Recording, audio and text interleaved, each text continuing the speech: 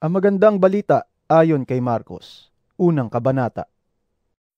Ito ang simula ng magandang balita tungkol kay Heso Kristo, ang anak ng Diyos. Tulad ng nakasulat sa aklat ni Propeta Isayas. Narito ang sugo ko na aking ipadadalang mauuna sa iyo. Ihahanda niya ang iyong daraanan. Ito ang pahayag ng isang taong sumisigaw sa ilang. Ihanda ninyo ang daraanan ng Panginoon. Gumawa kayo ng mga tuwid na landas na kanyang lalakaran. At dumating nga sa ilang si Juan na tagapagbautismo na nangangaral. Pagsisihan ninyo't talikuran ang inyong mga kasalanan at pabautismo kayo upang kayo'y patawarin ng Diyos. Halos lahat ng taga-Judea at taga-Jerusalem ay pumunta kay Juan. Ipinahayag nila ang kanilang mga kasalanan at sila'y binautismuhan niya sa ilog Jordan. Ang damit ni Juan ay yari sa balahibo ng kamelyo at balat naman ng hayop ang kanyang sinturon. Ang kanya namang pagkain ay balang at pulot-pukyutan. Ito ang ipinapahayag niya sa mga tao. Ang darating na kasunod ko ay higit na makapangyarihan kaysa sa akin. Ni hindi ako karapat dapat yumukod at magkalas man lamang ng tali ng kanyang sandalyas. Binautismuhan ko kayo sa tubig, ngunit babautismuhan niya kayo sa Espiritu Santo. Nang panahong iyon, dumating si Jesus mula sa Nazaret sa Galilea at siya'y binautismuhan ni Juan sa ilog Jordan. Pagkaahong pagkaahon ni Jesus sa tubig, nakita niyang bumukas ang kalangitan at bumababa sa kanya ang Espiritu na tulad ng isang kalapati. Narinig niya ang isang tinig na mula sa langit at nagsasabing, Ikaw ang minamahal kong anak. Lubos kitang kinalulugdan. Pagkatapos, dinala agad ng Espiritu si Jesus sa ilang. Nanatili siya roon ng apat na pung araw at doon tinukso siya ni Satanas. Doon ay may mababangis na hayop, ngunit si Jesus ay pinaglingkuran ng mga anghel. Nang ibinilanggo si Juan, nagpunta si Jesus sa Galilea at ipinangaral doon ang magandang balitang mula sa Diyos. Sinabi niya, Dumating na ang takdang panahon. Malapit nang maghari ang Diyos. Kaya magsisi na kayo talikuran ang inyong mga kasalanan. Paniwalaan ninyo ang magandang balita. Habang naglalakad si Jesus sa tabi ng lawa ng Galilea, nakita niya ang magkapatid na Simon at Andres na nanguhuli ng isda sa pamamagitan ng lambat. Sila'y kapwa mga mangingisda. Sinabi ni Jesus sa kanila, Sumunod kayo sa akin at kayo'y gagawin kong mangingisda ng mga tao. Pagkasabi niya nito'y agad iniwan ng magkapatid ang kanilang mga lambat at sumunod sa kanya. Nagpatuloy siya sa paglalakad at sa di kalayuan ay nakita naman niya ang magkapatid na Santiago at Juan na mga anak ni Zebedeo. Sila'y nasa kanilang bangka at nag-aayos ng mga lambat. Tinawag din sila agad ni Jesus at sila ay sumunod din sa kanya. Iniwan nila sa bangka ang kanilang ama na kasama ang kanilang mga upahang manggagawa. Nagpunta si na Jesus sa Kapernaum at nang sumunod na araw ng pamamahinga ay pumasok si Jesus sa sinagoga at nagturo. Namangha ang mga tao sapagkat nagtuturo siya ng may kapangyarihan. Hindi tulad ng mga tagapagturo ng kautusan. Bigla namang pumasok sa sinagoga ang isang lalaking sinasapian ng masamang espiritu. Ito'y sumigaw. Ano ang pakay mo sa amin? Jesus na taga Nazaret, naparito ka ba upang kami puksain? Kilala kita. Ikaw ang banal na mula sa Diyos. Ngunit iniutos ni Jesus sa masamang espiritu, Tumahimik ka. Lumabas ka sa kanya. Pinangisay ng masamang espiritu ang lalaki at sumisigaw itong lumabas sa kanya. Ang lahat ay namangha Kaya't sila'y nagtanungan sa isa't isa. Paanong nangyari iyon? Ito ay isang kakaibang katuruan. Makapangyarihan niyang nautusan ng masasamang espiritu at sumusunod naman ang mga ito sa kanya. Dahil dito, mabilis na kumalat sa buong Galilea ang balita tungkol kay Jesus.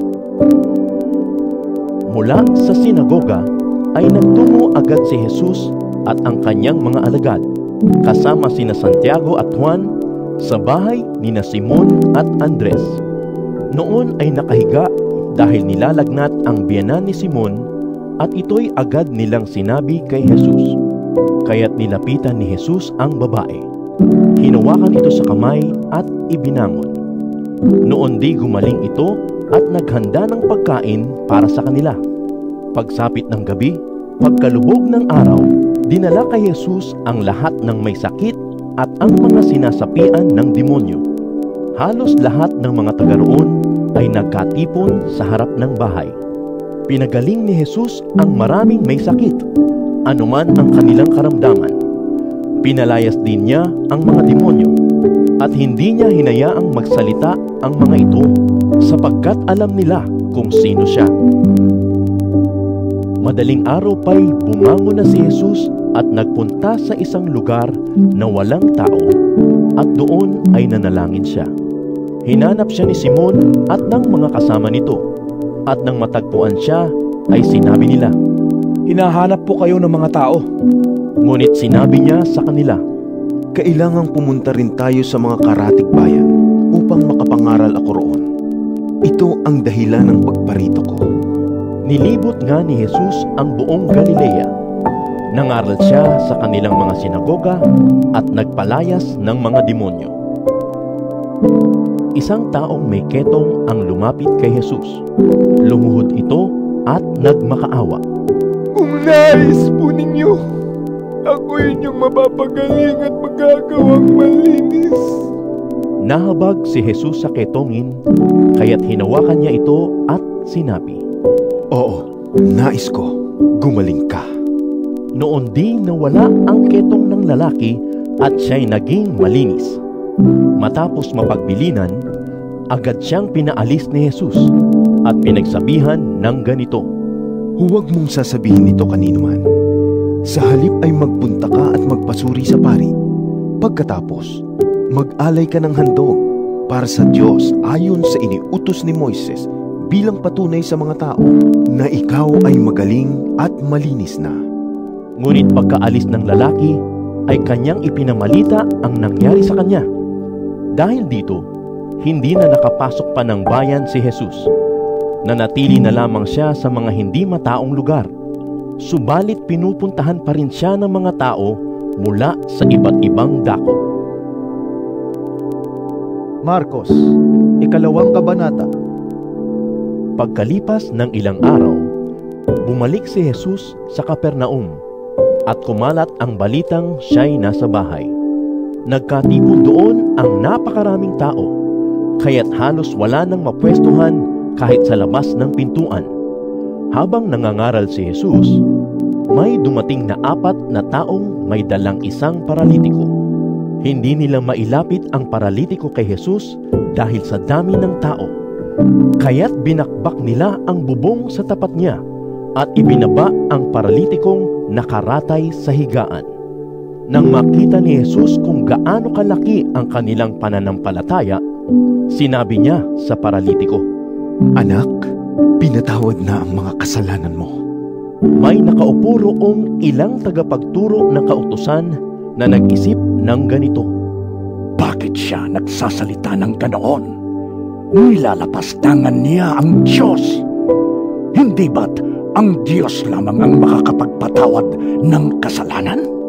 Alam ni Jesus ang kanilang iniisip, kaya't sinabi niya agad, Bakit kayo nag-iisip ng ganyan? Alin ba ang mas madali? Ang sabihin sa paralitiko, pinapatawad na ang mga kasalanan mo? O ang sabihin, tumayo ka, bitbitin mo ang iyong higaan at lumakad ka? Ngunit upang malaman ninyo na ang anak ng tao ay may kapangyarihan dito sa lupa na magpatawad ng mga kasalanan. Sinabi niya sa paralitiko, Tumayo ka, buhatin mo ang iyong higaan at umuwi ka na. Tumayo nga ang paralitiko habang nakatingin ang lahat. Kaagad niyang binuhat ang kanyang higaan at umalis. Kaya ang lahat ng naroroon ay namangha. Sila ay nagpuri sa Diyos at sinabi nila, Kailan may hindi pa kami nakakita ng ganito? Muling pumunta si Jesus sa baybayin ng lawa ng Galilea. Sinundan siya roon ng napakaraming tao at sila'y kanyang tinuruan. Habang naglalakad si Jesus, ay nakita niyang nakaupo sa tanggapan ng buwis si Levi na anak ni Alfeo. Sinabi sa kanya ni Jesus, Sumunod ka sa akin. Tumayo naman si Levi at sumunod nga sa kanya. Nang si Jesus at ang kanyang mga alagad ay kumakain sa bahay ni Levi, kasalo nilang kumakain ang mga maniningil ng buwis at mga makasalanang sumunod sa kanya. Nang makita ito ng ilang tagapagturo ng kautusan na kabilang sa pangkat ng mga pariseo, tinanong nila ang kanyang mga alagad. Bakit siya kumakain kasama ang mga maniningil ng buwis at mga makasalanan?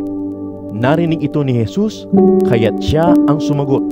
Hindi nangangailangan ng manggagamot ang walang sakit, kundi ang may sakit. Naparito ako upang tawagin ang mga makasalanan, hindi ang mga matuwid. Minsan, nag-aayuno ang mga alagad ni Juan na tagapagbautismo at ang mga pariseo. May lumapit kay Jesus at nagtanong, Bakit po hindi nag-aayuno ang inyong mga alagad? Samantalang ang mga alagad ni Juan na tagapagbautismo at ang mga pariseo ay nag-aayuno. Sumagot si Jesus, Dapat bang mag-ayuno ang mga panauhin sa kasalan habang kasama pa nila ang lalaking ikinasal? Hindi. Hanggat kasama nila ito, hindi nila gagawin iyon. Ngunit darating ang araw na kukunin mula sa kanila ang lalaking ikinasal at saka sila mag-aayuno.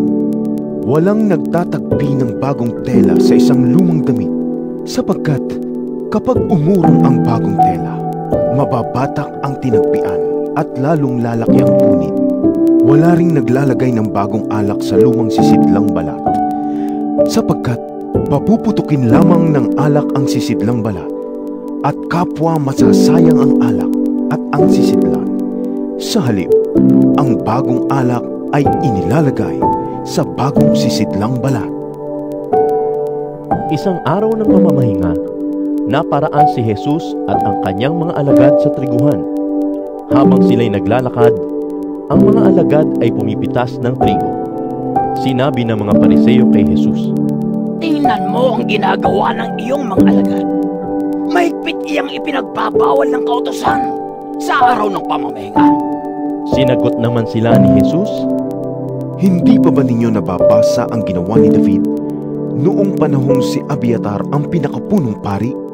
Nang si David at ang kanyang mga kasamay magutom at walang makain, pumasok siya sa bahay ng Diyos at kumain ng tinapay na handog sa Diyos. Binigyan pa niya ang kanyang mga kasamahan. Ayon sa kautusan, ang mga pari lamang ang may karapatang kumain niyon. Sinabi rin ni Jesus, Itinakda ang araw ng pamamahinga para sa tao. Hindi nilikha ang tao para sa araw ng pamamahinga. Ang anak ng tao ay Panginoon, maging ng araw ng pamamahinga. Marcos, ikatlong kabanata. Muling pumasok si Jesus sa sinagoga. Naratnan niya roon ang isang lalaking paralisado ang isang kamay. Pinagmasdan ng ilang taong naroroon kung pagagalingin ni Jesus ang lalaking iyon sa araw ng pamamahinga upang may maiparatang sila laban sa kanya. Tinawag ni Jesus ang lalaking paralisado ang kamay. Halika rito. Pagkatapos, tinanong naman niya ang mga tao. Alin ba ang naaayon sa kautusan? Ang gumawa ng mabuti o ang gumawa ng masama sa araw ng pamamahinga? Ang magligtas ng buhay o ang pumatay? Ngunit hindi sila sumagot. Tiningnan ni Jesus ang mga taong nakapaligid sa kanya. Nagalit siya at nalungkot dahil sa katigasan ng kanilang mga puso. Pagkatapos, sinabi niya sa may sakit, Iunat mo ang iyong kamay. Iniunat naman ng lalaki ang kanyang kamay at ito'y gumaling. Umalis ang mga pariseo at agad nakipagsabwatan sa mga tagasunod ni Herodes upang maipapatay si Jesus. Umalis si Jesus at ang kanyang mga alagad at sila'y nagpunta sa tabi ng lawa. Sinundan siya roon ng napakaraming taong buhat sa Galilea, sa Judea, sa Jerusalem, sa Idumea, sa ibayo ng Hordan, at sa palibot ng Tiro at Sidon. Sumunod sila kay Jesus dahil nabalitaan nila ang lahat ng ginagawa niya. Dahil napakarami ng mga tao, inutusan ni Jesus ang kanyang mga alagad na maghanda ng isang bangkang masasakyan niya upang hindi siya maipit ng mga taong dumaragsa.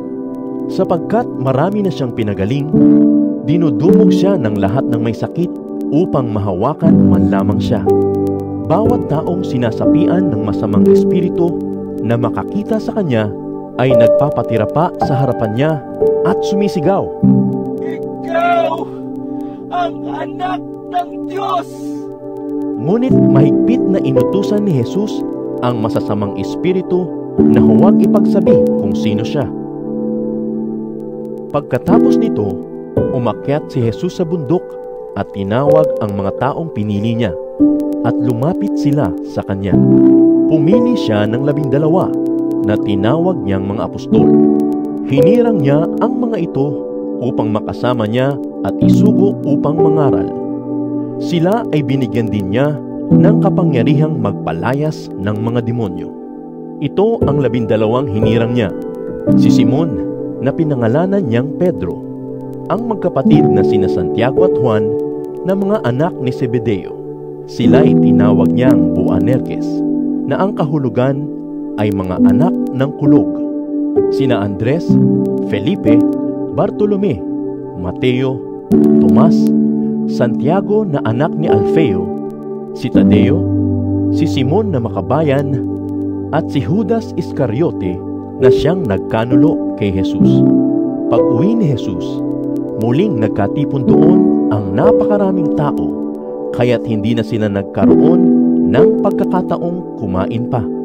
Nang mabalitaan iyon ng kanyang mga kamag-anak, pumunta sila roon upang kunin siya dahil maraming nagsasabi na siya'y nasisiraan ng bait.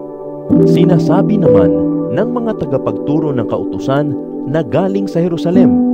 Sinasapian siya ni Beelzebul!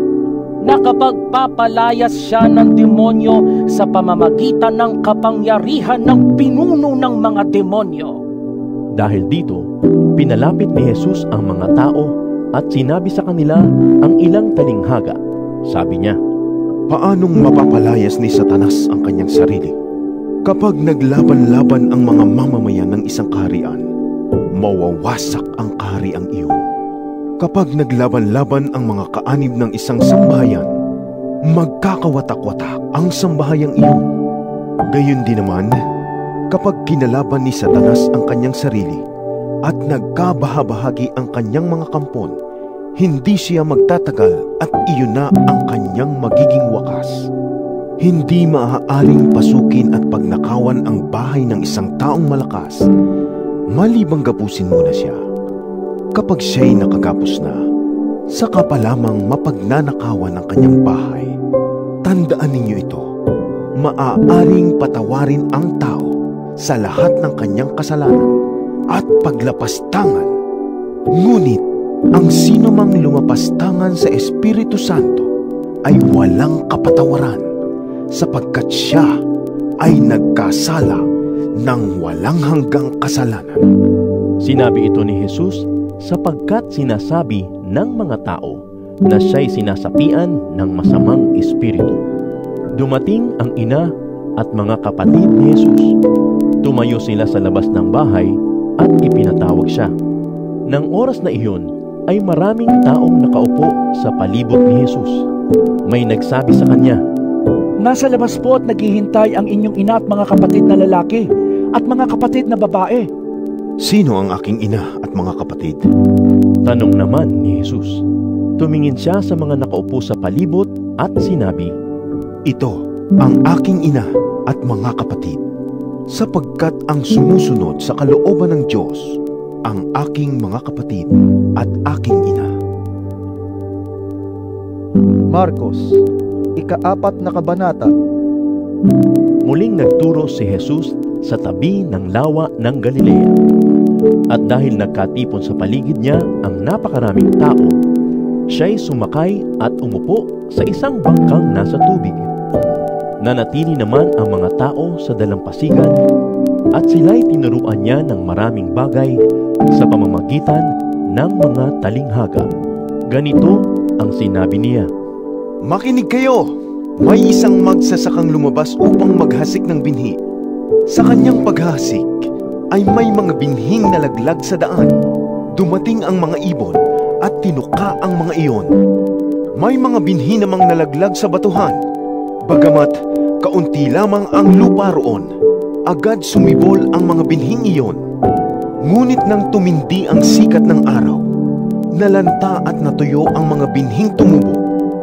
Palibhasay, hindi ito masyadong nag-ugat. May mga binhi namang nalaglag sa may damuhang matinik.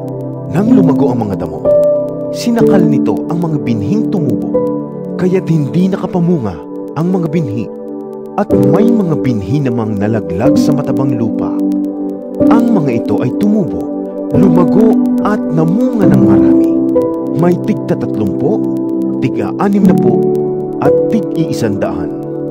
Sinabi pa ni Jesus, Makinig ang may pandinig. Nang nag-iisa na si Jesus, ang ilan sa mga nakikinig ay lumapit sa kanya kasama ang labindalawa. Hiniling nilang ipaliwanag niya ang talinghaga. Sinabi niya, Ipinagkaloob sa inyo ang karapatang maunawaan ang hiwaga tungkol sa kaharian ng Diyos. Ngunit sa iba na nasa labas, ang lahat ng bagay ay itinuturo sa pamamagitan ng talinghaga. Nang sa gayon, tumingin man sila ng tumingin, ay hindi sila makakakita at makinig man sila ng makinig ay hindi makakaunawa. Kung hindi sila ganito, nagbalik loob na sana sila sa Diyos at napatawad sila. pagkatapos, tinanong sila ni Jesus. Hindi pa ba ninyo nauunawaan ang talinghagang ito? Paano ninyo mauunawaan ang iba pang mga talinghaga? Ito ang kahulugan ng talinghaga. Ang binhing inihahasik ay ang salita ng Diyos. At ang mga binhi namang nalalaglag sa daan ay ang mga taong nakikinig sa salita ng Diyos. Pagkarinig nila'y dumarating si Satanas at inaalis ang salitang inihasik sa kanila. Ang katulad ng mga binhing nalaglag sa batuhan ay ang mga taong nakikinig ng salita ng Diyos at agad na tinatanggap ito ng may galak. Subalit hindi ito tumitimo sa kanila, kaya't hindi sila nagtatagal. Pagdating ng kapighatian o pag-uusig dahil sa salita ng Diyos, agad silang sumusuko. Ito naman ang katulad ng mga binhing nalaglag sa may matitinik na halaman. Sila ang mga taong nakikinig ng salita ng Diyos. Ngunit dahil sa alalahanin sa buhay na ito, pagkasilaw sa salapi, o kaya'y pagkahumaling sa ibang mga bagay, ang salita ay nawawala ng puwang sa kanilang puso, kaya't hindi ito nakakapamunga. Ito naman ang katulad ng mga binhing nalaglag sa matabang lupa. Sila ang mga taong nakikinig at tumatanggap sa salita ng Diyos at namumunga ng masagana. May tigta tatlumpu, may tigla anim na po, at may tig-iisandaan. Nagpatuloy si Jesus ng pagsasalita. Sinabi niya, Sinisindihan ba ang ilawan upang itago sa ilalim ng takalan? O kaya'y sa ilalim ng higaan? Hindi ba't kapag nasindihan na ay inilalagay ito sa talagang patungan ng ilaw? Walang natatagong di malalantad at walang lihim na di mabubunyag. Makinig ang may pandinig. idinugtong pa niya, Unawain ninyong mabuti ang inyong naririnig. Ang panukat na ginagamit ninyo sa iba ay siya ring gagamiting panukat sa inyo. At higit pa roon, sapagkat ang mayroon ay bibigyan pa, ngunit ang wala kahit ang kakaunting nasa kanya ay kukunin pa. Sinabi pa ni Jesus, Ang kaharian ng Diyos ay maitutulad sa isang taong naghasik ng binhi sa kanyang bukid. Natutulog siya kung gabi at bumabangon kung araw. Samantala, ang binhi ay tumutubo at lumalago, ngunit hindi alam ng naghasik kung paano. Ang lupa ang nagpapasibol at nagpapabunga sa mga pananim. Usbong muna ang lumilitaw, saka ang tangkay. Pagkatapos, nahihitik ito sa butil. Kapag hinog na ang mga butil, agad itong ginagapas ng taong naghasi sapagkat panahon na para ito'y anihin. Saan pa natin maihahambing ang kaharian ng Diyos? Anong talinghaga ang gagamitin natin upang mailarawan ito? tanong ni Jesus. Ang katulad nito ay butil ng mustasa na siyang pinakamaliit sa lahat ng binhi. Ngunit kapag itinanim, ito'y lumalago at nagiging pinakamalaki sa lahat ng tanim. Ito'y nagkakasanga ng mayabong, kaya't ang mga ibon ay nakakapumugad sa lilim nito. Ipinangaral ni Jesus sa mga tao ang mensahe sa pamamagitan ng maraming talinghagang tulad ng mga ito hanggang sa makakaya pa nilang makinig. Tuwing nangangaral siya sa kanila, ay gumagamit siya ng talinghaga. Ngunit ipinapaliwanag niya ang mga ito sa kanyang mga alagad kapag sila sila na lamang. Kinagabihay sinabi ni Jesus sa mga alagad, Tumawid tayo sa ibayo.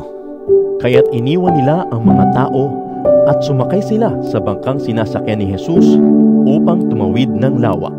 May iba pang mga bangkang nakisabay sa kanila. Habang naglalayag, inabot sila ng malakas na bagyo. Kaya't ang bangkang sinasakyan nila'y hinampas ng malalaking alon at ito'y halos mapuno na ng tubig. Si Jesus ay natutulog noon sa may hulihan ng bangka. Nakahilig sa isang unan. Ginising siya ng mga alagad at sinabi, Guro, baliwala ba sa inyo kung mapahama kami? Bumangon si Jesus at sinaway ang hangin Tigil! at sinabi sa lawa, Tumahimik ka! Tumigil nga ang hangin at tumahimik ang lawa. Pagkatapos, sinabi niya sa mga alagad, Bakit kayo natatakot? Hanggang ngayon ba'y wala pa rin kayong pananampalataya? natakot sila ng labis at namangha. Sabi nila sa isa't isa, Anong klasing tao ito? Pati hangin at lawa ay sumusunod sa kanya. Marcos, ikalimang kabanata. Si Jesus at ang kanyang mga alagad ay dumating sa kabilang ibayo sa lupain ng mga Geraseno. Pagkababa ni Jesus sa bangka, siya'y sinalubong ng isang lalaking sinasapian ng masamang espiritu. Ang lalaking ito'y nakatira sa mga libingan. Hindi na siya maigapos kahit tanikala pa ang gamitin. Bagamat madalas siyang gapusin ng tanikala sa kamay at paa, nilalagot lamang niya ang mga ito. Wala nang nakakapigil sa kanya. Araw-gabi, nagsisisigaw siya sa mga libingan at sa kabundukan. At sinusugatan din niya ng matalas na bato ang kanyang sarili. Malayo pa'y natanaw na nito si Jesus. Patakbo itong lumapit at lumuhod sa harapan niya. Sumigaw siya ng malakas. Jesus! Anak ng kataas-taasang Diyos! Anong pakay mo sa akin? Ipangako mo sa kanan ng Diyos. Hindi mo ako pahihirapan. Sinabi niya ito sapagkat iniutos ni Jesus Masamang espiritu, lumabas ka sa taong ito. Tinanong siya ni Jesus, Ano ang pangalan mo? Batalyon! Sapagkat marami kami. tugon niya. At nakiusap siya kay Jesus na huwag silang palayasin sa lugar na iyon. Samantala, sa libis ng bundok ay may malaking kawan ng mga baboy na nagsisikain. Nagmakaawa kay Jesus ang masasamang espiritu. Papasukin mo na lamang kami sa mga baboy. Pinahintulutan niya sila kaya't lumabas nga sa lalaki ang masasamang espiritu at pumasok sa mga baboy. Ang kawan na may dalawang libo ay nagtakbuhan sa gilid ng matarik na bangin hanggang sa nahulog ang mga ito sa lawa at nalunod. Tumakbo ang mga tagapag-alaga ng kawan ng baboy at ibinalita sa bayan at sa karatig pook ang mga pangyayari.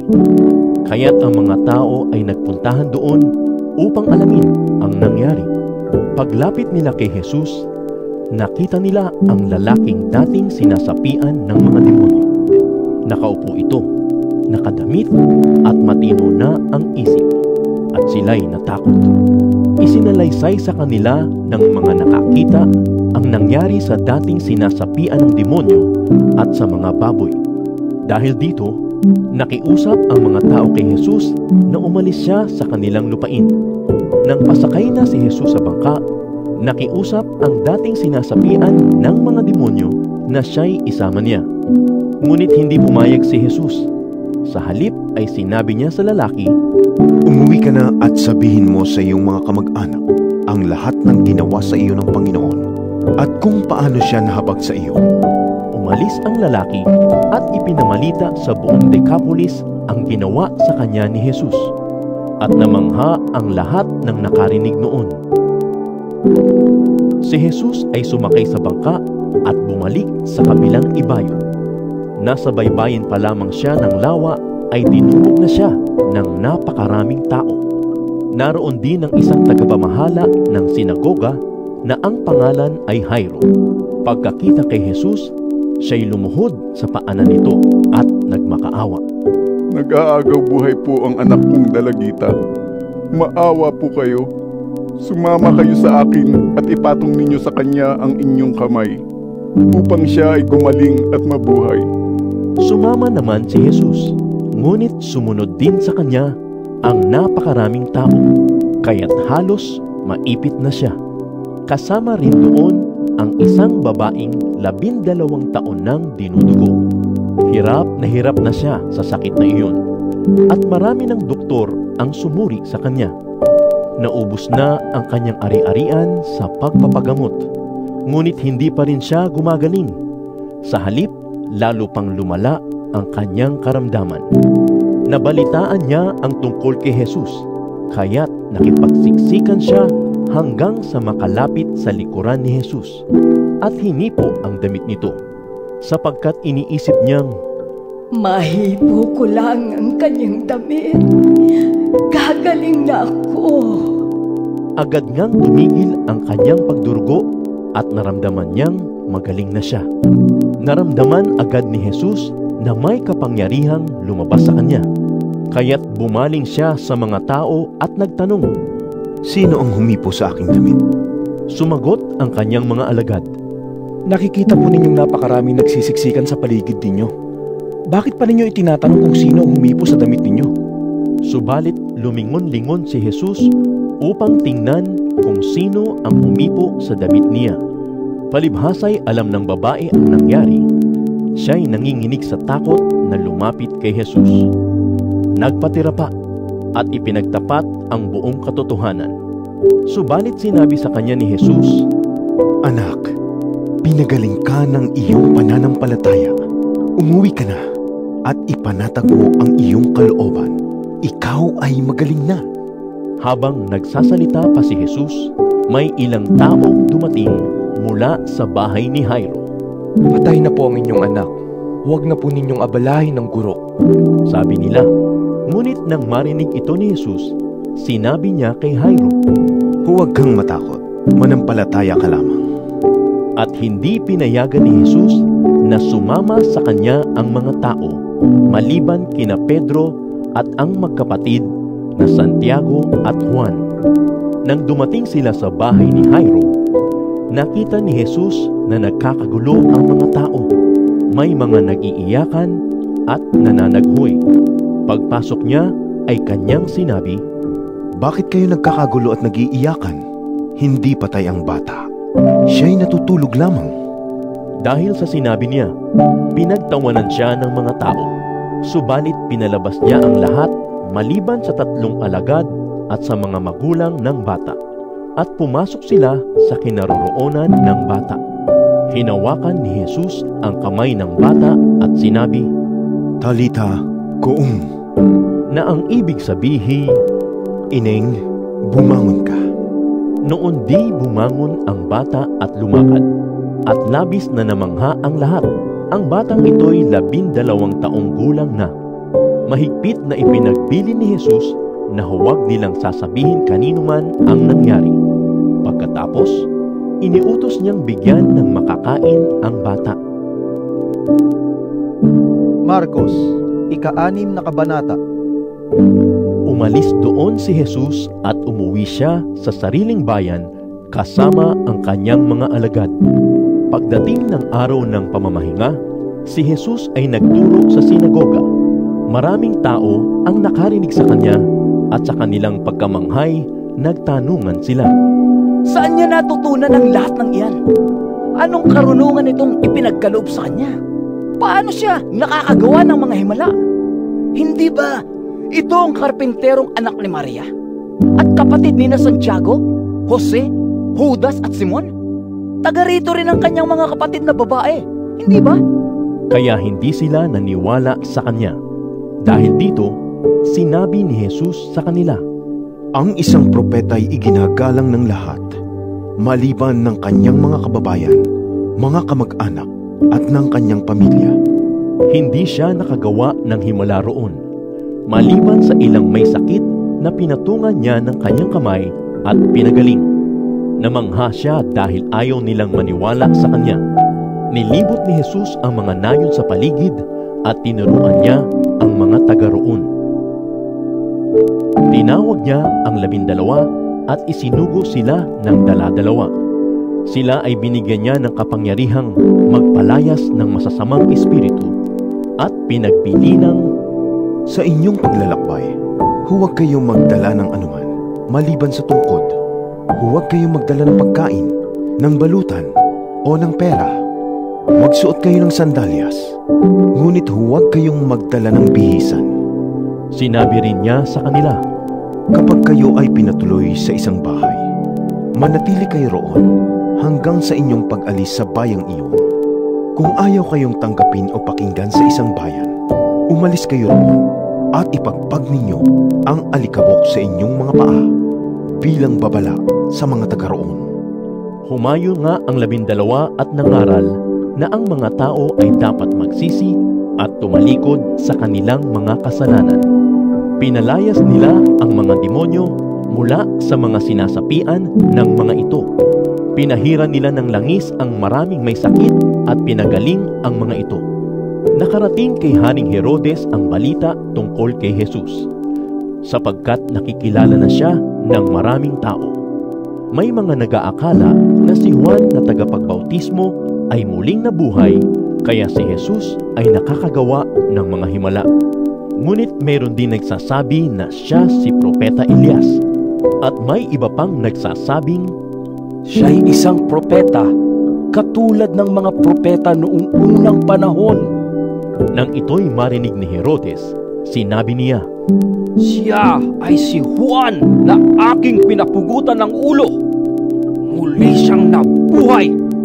Si Herodes mismo ang nagpahuli at nagpabilanggo kay Juan dahil sa kagustuhan ni Herodias.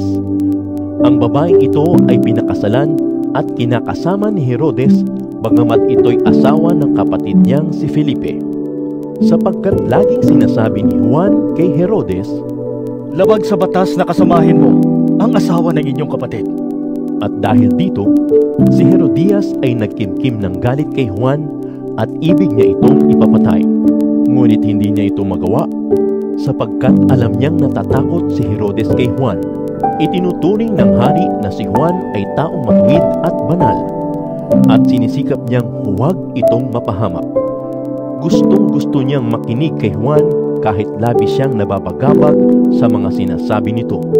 Subalit nagkaroon din ng pagkakataon si Herodias na ipapatay si Juan nang sumapit ang kaarawan ni Herodes. Si Herodes ay nagpahanda ng malaking salo-salo at inanyayahan niya ang kanyang mga opisyal, mga pinuno ng hukbo at ang mga pangunahing mamamayan ng Galilea. Nang pumasok ang anak na babae ni Herodias at nagsayaw, labis na nasiyahan si Herodes at ang mga panauhin. Kaya't sinabi ng hari sa dalaga, Hingin mo ang anumang nais mo at ibibigay ko sa iyo. Naipangako rin niya sa dalaga na ibibigay niya kahit ang kalahati ng kanyang kaharian kung ito ang hihingin. Kaya't lumabas ang dalaga at tinanong ang kanyang ina. Ano po ang hihingin ko? Ang ulo ni Juan na tagapagbautismo. Sagot ng ina. Mabilis na nagbalik ang dalaga sa kinaroroonan ng hari at sinabi niya, Ang nais ko'y ibigay ninyo sa akin ngayon din ang ulo ni Juan na tagapagbautismo na nakalagay sa isang pinggan. Labis na nalungkot ang hari. Subalit dahil sa kanyang sumpang narinig ng mga panauhin, hindi niya matanggihan ang dalaga. Kaagad niyang iniutos sa isang kawal na dalhin sa kanya ang ulo ni Juan. Sumunod nga ang kawal at pinugutan niya ng ulo si Juan sa loob ng bilangguan. Inilagay niya ang ulo sa isang pinggan at ibinigay sa dalaga. Ibinigay naman iyon ng dalaga sa kanyang ina. Nang mabalitaan ito ng mga alagad ni Juan, kinuha nila ang kanyang bangkay at inilibing. Bumalik kay Jesus ang mga apostol at iniulat nila sa kanya ang lahat ng kanilang ginawa at itinuro. Subalit napakaraming taong dumarating at umaalis at hindi na nila makuhang kumain. Kaya't sinabi ni Jesus sa mga alagad, Magpunta tayo sa hindi mataang lugar upang makapagpahinga kayo ng kaunti. Umalis nga silang sakay ng isang bangka at nagpunta sa isang liblib na lugar. Ngunit maraming nakakita sa kanilang pag-alis at nakaalam kung saan sila pupunta. Kaya't ang mga tao mula sa lahat ng bayan ay patakbong pumunta sa lugar na iyon at naunahan pa nila sina Jesus. Pagbaba ni Jesus sa bangka, nakita niya ang napakaraming tao. Nahabag siya sa kanila sapagkat para silang mga tupang walang pastol.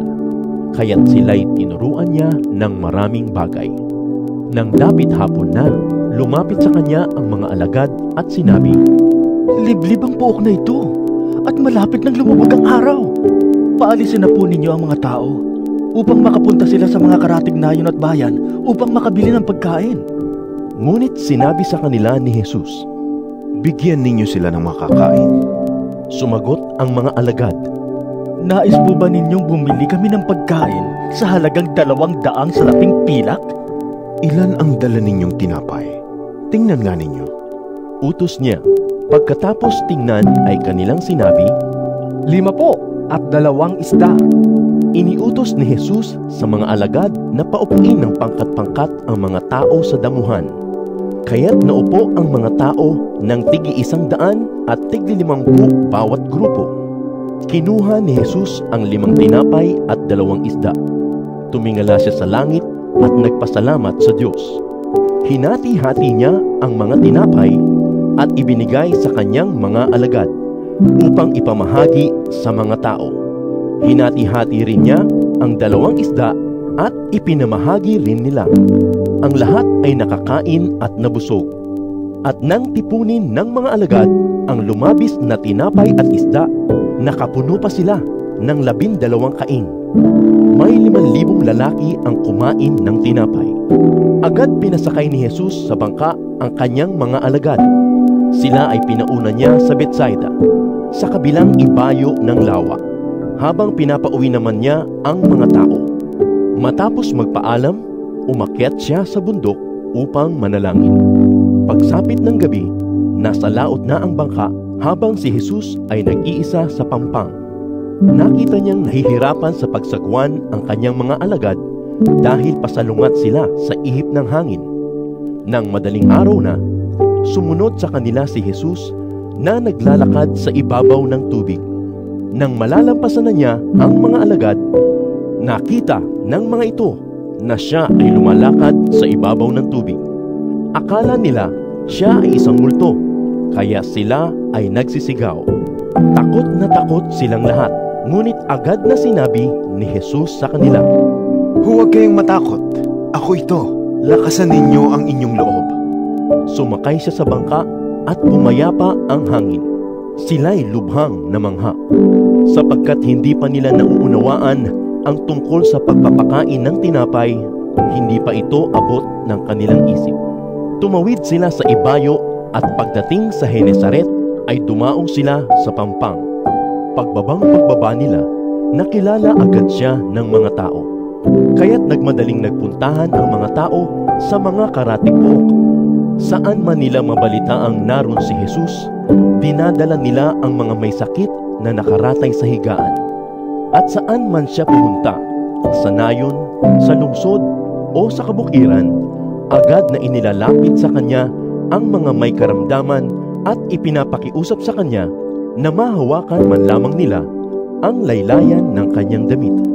At ang lahat ng makahawak dito ay gumagaling. Marcos, ikapitong kabanata. Lumapit kay Jesus ang mga pariseyo kasama ang ilang tagapagturo ng kautusan na galing pa sa Jerusalem. Nakita nila ang ilan sa mga alagad niya na kumakain ng marumi ang mga kamay dahil hindi nahugasan ayon sa kaugalian ng mga Hudyo.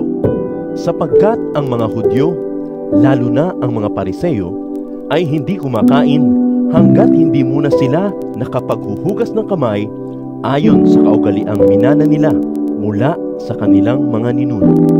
Hindi rin sila kumakain ng anumang galing sa palengke nang hindi muna ito hinuhugasan. Marami pa silang sinusunod na katuruang minana, tulad ng paghuhugas ng mga tasa, pitsel, sisidlang tanso, at mga higaan.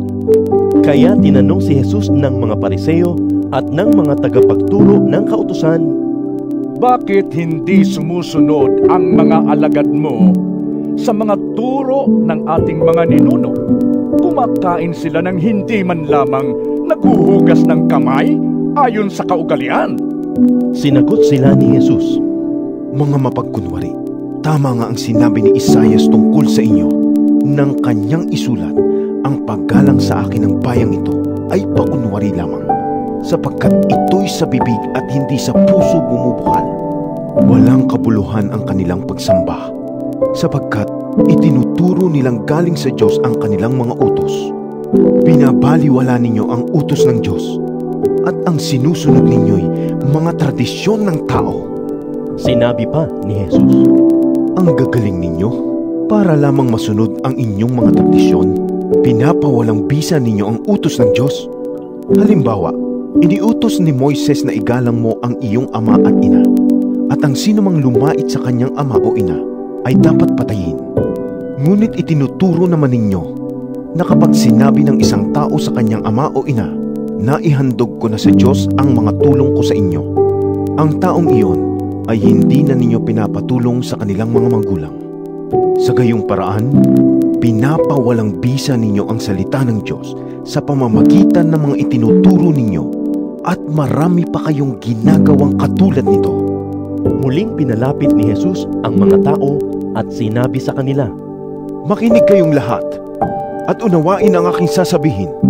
Hindi nagiging marumi ang isang tao dahil sa pagkaing pumapasok sa kanyang bibig, kundi dahil sa lumalabas dito. Makinig ang may pandinig. Iniwan ni Jesus ang mga tao at nang makapasok na siya sa bahay, siya'y tinanong ng kanyang mga alagad tungkol sa talinghaga. Pati ba naman kayo ay hindi pa rin makaunawa? Tanong ni Jesus, Hindi ba ninyo alam na hindi nagiging marumi ang isang tao dahil sa pagkaing ipinapasok niya sa kanyang bibig? Sapagkat hindi naman iyon pumapasok sa kanyang puso, kundi sa tiyan, at pagkatapos ay idinudumi. Sa ganitong paraan ay ipinahayag ni Jesus na ang lahat ng pagkain ay maaaring kainin. At sinabi rin niya, Ang lumalabas sa tao, ang nagpaparumi sa kanya sa paningin ng Diyos. Sapagkat sa loob, sa puso ng tao, nagmumula ang masasamang isipang nag-uudyok sa kanya upang makiapid, magnakaw, pumatay, mangalunya, mag-imbot, gumawa ng kasamaan tulad ng pandaraya, kahalayan, pagkaingit, paninirang puri, pagmamayabang, at kahangalan. Ang lahat ng masasamang bagay na ito ay nanggagaling sa puso at dahil sa mga ito ay nagiging marumi ang tao. Umalis doon si Jesus at nagpunta sa lugar na malapit sa Tiro at ng Sidon. Tumuloy siya sa isang bahay doon at ayaw niyang malaman ni naman na naroon siya. Subalit hindi ganoon ang nangyari. Ang pagdating niya'y nabalitaan ng isang babae na may anak na babaeng sinasapian ng masamang espiritu. Pumunta agad kay Jesus ang ina at nagpatira pa sa kanyang harapan. Ang babaeng ito'y isang hentil na taga Sirofenicia. Nakiusap ito kay Jesus na palayasin ang demonyong sumapi sa kanyang anak. Ngunit sinabi ni Jesus, Kailangang ang mga anak muna ang pakainin. Hindi dapat kunin ang pagkain ng mga anak upang ihagi sa mga aso. Tugon ng babae. Tunay nga po, Panginoon. Ngunit maging ang mga asong nasa ilalim ng mesa ay kumakain ng mga nalalaglag mula sa kinakain ng mga anak. Kaya't sinabi sa kanya ni Jesus, Dahil sa sinabi mo, maaari ka nang umuwi. Iniwan na ng demonyo ang iyong anak. Umuwi ang babae at naratnan niya sa higaan ang bata. Iniwan na nga ito ng demonyo. Umalis si Jesus mula sa lupain ng Tiro, dumaan sa Sidon at nagtuloy sa lawa ng Galilea. Tinahak niya ang lupain ng Decapolis. Dinala ng mga tao sa kanya ang isang lalaking bingi at may kapansanan sa pagsasalita at nakiusap sila sa kanya na ipatong niya rito ang kanyang kamay. Inilayo muna ni Jesus sa karamihan ang lalaki at isinuot ang kanyang mga daliri sa mga tainga nito. Pagkatapos, dumura si Jesus at ipinahid ito sa dila ng pipi. Tumingala si Jesus sa langit, nagbuntong hininga at sinabi sa lalaki, Efata! Na ang ibig sabihin, Mabuksan! Noon din nakarinig ang lalaki at nakapagsalita na ng maayos. Sinabi ni Jesus sa mga tao na huwag ipamalita ito. Ngunit habang pinagbabawalan niya ang mga tao, ay lalo naman nila itong ipinamamalita. Buong paghangang sinasabi nila, Napakahusay ng lahat ng kanyang ginagawa. Binibigyan niya ng pandinig ang mga bingi at pinapagsalita ang mga pipi. Marcos, ikawalong kabanata. Nang mga araw na iyon, muling nagkatipon ang napakaraming tao. Wala nang makain ang mga ito, kaya tinawag ni Jesus ang kanyang mga alagad at sinabi sa kanila, Naaawa ako sa mga taong ito, sapagkat tatlong araw na ngayong kasama ko sila at wala na silang makain. Kung pauuwiin ko sila ng gutom, mahihilo sila sa daan. Malayo pa naman ang pinanggalingan ng ilan sa kanila. Ito po ay isang liblib na lugar. Saan po tayo kukuha ng pagkain para sa ganito karaming tao? Tanong ng mga alagad. Ilan ang tinapay ninyo riyan? Tanong ni Jesus. Pito po. Sagot nila. Pinaupo ni Jesus sa lupa ang mga tao at kinuha ang pitong tinapay. Nagpasalamat siya sa Diyos, hinati-hati ang mga tinapay at ibinigay sa mga alagad upang ipamahagi sa mga tao. Ganoon nga ang ginawa ng mga alagad. Mayroon din silang ilang maliliit na isda. Muli siyang nagpasalamat sa Diyos at pagkatapos ay iniutos niyang ipamahagi din iyon sa mga tao. Kumain ng lahat at nabusog. Nang tipunin nila ang lumabis, nakapuno pa sila ng pitong kaing. May apat na libong tao ang kumain. Matapos pauwiin ang mga tao, sumakay si Jesus sa bangka kasama ang kanyang mga alagad at nagtungo sila sa lupain ng Dalmanuta. May dumating na mga pariseo at nakipagtalo kay Jesus. Nais nilang subukin siya, kaya't hiniling nilang magpakita siya ng isang himala mula sa langit. Napabuntong hininga si Jesus at sinabi sa kanila, Bakit naghahanap ng himala ang mga tao sa panahong ito? Pakatandaan ninyo, hindi sila bibigyan ng hinihingi nilang himala. at sila'y iniwan niya. Muli siyang sumakay sa bangka at tumawid sa ibayo. Nakalimutan ng mga alagad na magdala ng tinapay. Iisa lang ang kanilang tinapay sa bangka. Sinabi ni Jesus sa kanila, Mag-ingat kayo sa pampaalsang kinakalat ng mga pariseyo at ni Herodes. Sabi nila sa isa't isa, Wala kasi tayong dalang tinapay, kaya sinabi niya iyon. Dahil alam ni Jesus ang kanilang pinag-uusapan, sinabi niya sa kanila, Bakit ninyo pinag-uusapan kayo'y walang dalang tinapay? Hindi pa ba kayo nakakaintindi? Hindi pa ba ito abot ng inyong isip? Wala ba kayong mata? Bakit hindi kayo makakita? Wala ba kayong tainga? Bakit hindi kayo makarinig? Hindi ba ninyo naaalala? Nang paghati-hatiin ko ang limang tinapay para sa limang libong tao, ilang kaing ang napuno ninyo ng lumabis na pagkain? Labindalawa po. Tugon nila, At nang paghati-hatiin ko ang pitong tinapay para sa apat na libong tao, ilang kaing ang napuno ninyo? tanong niya. Pito po. Muli nilang sagot, At hindi pa rin ba ninyo nauunawaan ito? tanong niya. Pagdating nila sa Bethsaida, dinala ng ilang tao kay Jesus ang isang bulag at pinakiusapan nilang hipuin niya ang taong ito. Inakay niya ang bulag at dinala ito sa labas ng bayan. Matapos duraan at takpan ang mga mata nito ng kanyang kamay, tinanong ni Jesus. May nakikita ka ba? Tumingin ang lalaki at sumagot. Nakakakita po ako ng mga tao. Ngunit para silang mga punong kahoy na naglalakad. Muling inilagay ni Jesus ang kanyang mga kamay sa mga mata ng bulag. Sa pagkakataong ito, tuminging mabuti ang bulag. Nanumbalik ang kanyang paningin at nakakita na siya ng malinaw. Sinabi sa kanya ni Jesus, Maaari ka nang umuwi. Huwag ka nang bumalik sa bayan. Si Jesus at ang kanyang mga alagad ay nagpunta sa mga nayon ng Cesarea na sakop ng Filipos. Habang sila'y naglalakbay, tinanong niya ang kanyang mga alagad. Ano ang sinasabi ng mga tao tungkol sa akin? Sumagot sila, Ang sabi po ng ilan, kayo daw po si Juan na tagapagbautismo. Sabi naman ng iba, si Elias daw kayo. May nagsasabi ring, isa raw kayo sa mga propeta. Ngunit kayo naman, ano ang sinasabi ninyo kung sino ako? Tanong niya. Sumagot si Pedro. Kayo po ang Kristo. Huwag ninyong sasabihin kaninuman kung sino ako. Mahigpit na utos niya sa kanila.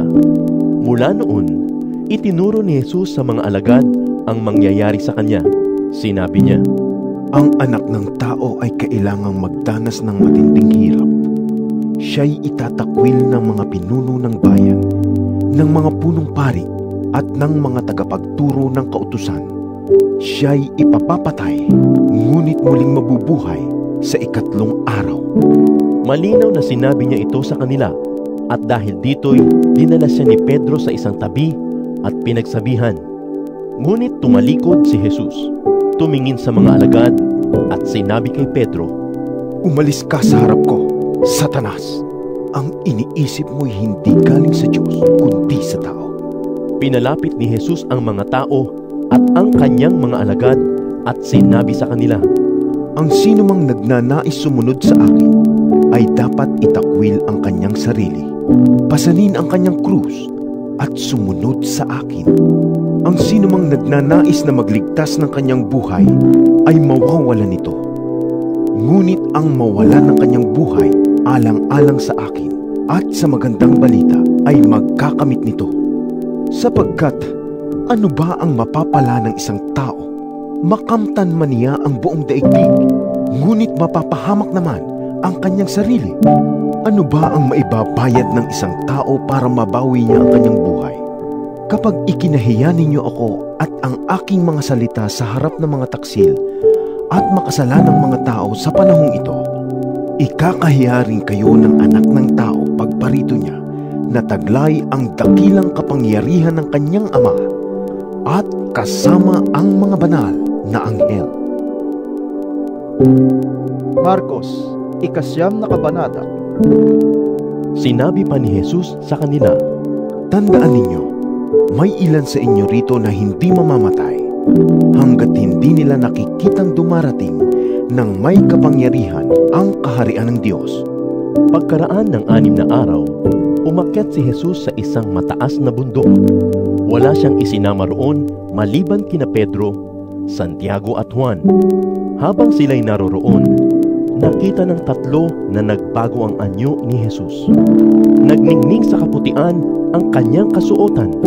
Walang sino man sa mundo ang makapagpapaputi ng gayon. At nakita rin nila roon si Elias at si Moises na nakikipag-usap kay Jesus. Sinabi ni Pedro kay Jesus, Guro, mabuti po na nandito kami. Magtatayo po kami ng tatlong tolda. Isa para sa inyo, isa kay Moises at isa kay Elias. Dahil sa kanilang matinding takot, hindi niya alam kung ano ang sasabihin niya. Nililiman sila ng makapal na ulap at mula rito'y may isang tinig na nagsabi, Ito ang pinakamamahal kong anak. Pakinggan ninyo siya. Biglang tumingin sa paligid ang mga alagad, ngunit wala silang ibang nakita maliban kay Jesus. Nang sila'y bumababa na mula sa bundok, mahigpit silang pinagbilinan ni Jesus na huwag sasabihin kanino man ang kanilang nakita hanggat hindi pa muling nabubuhay ang anak ng tao. Sinunod nila ang tagubiling ito. Ngunit sila'y nagtanungan sa isa't isa kung ano ang kahulugan ng sinabi niyang muling pagkabuhay at tinanong nila si Jesus. Bakit po sinasabi ng mga tagapagturo ng kautusan na dapat munang dumating si Elias? Tumugon siya, Darating nga muna si Elias upang ihanda ang lahat ng bagay. Ngunit bakit sinasabi din sa kasulatan na ang anak ng tao'y hahamakin at magtitiis ng maraming hirap?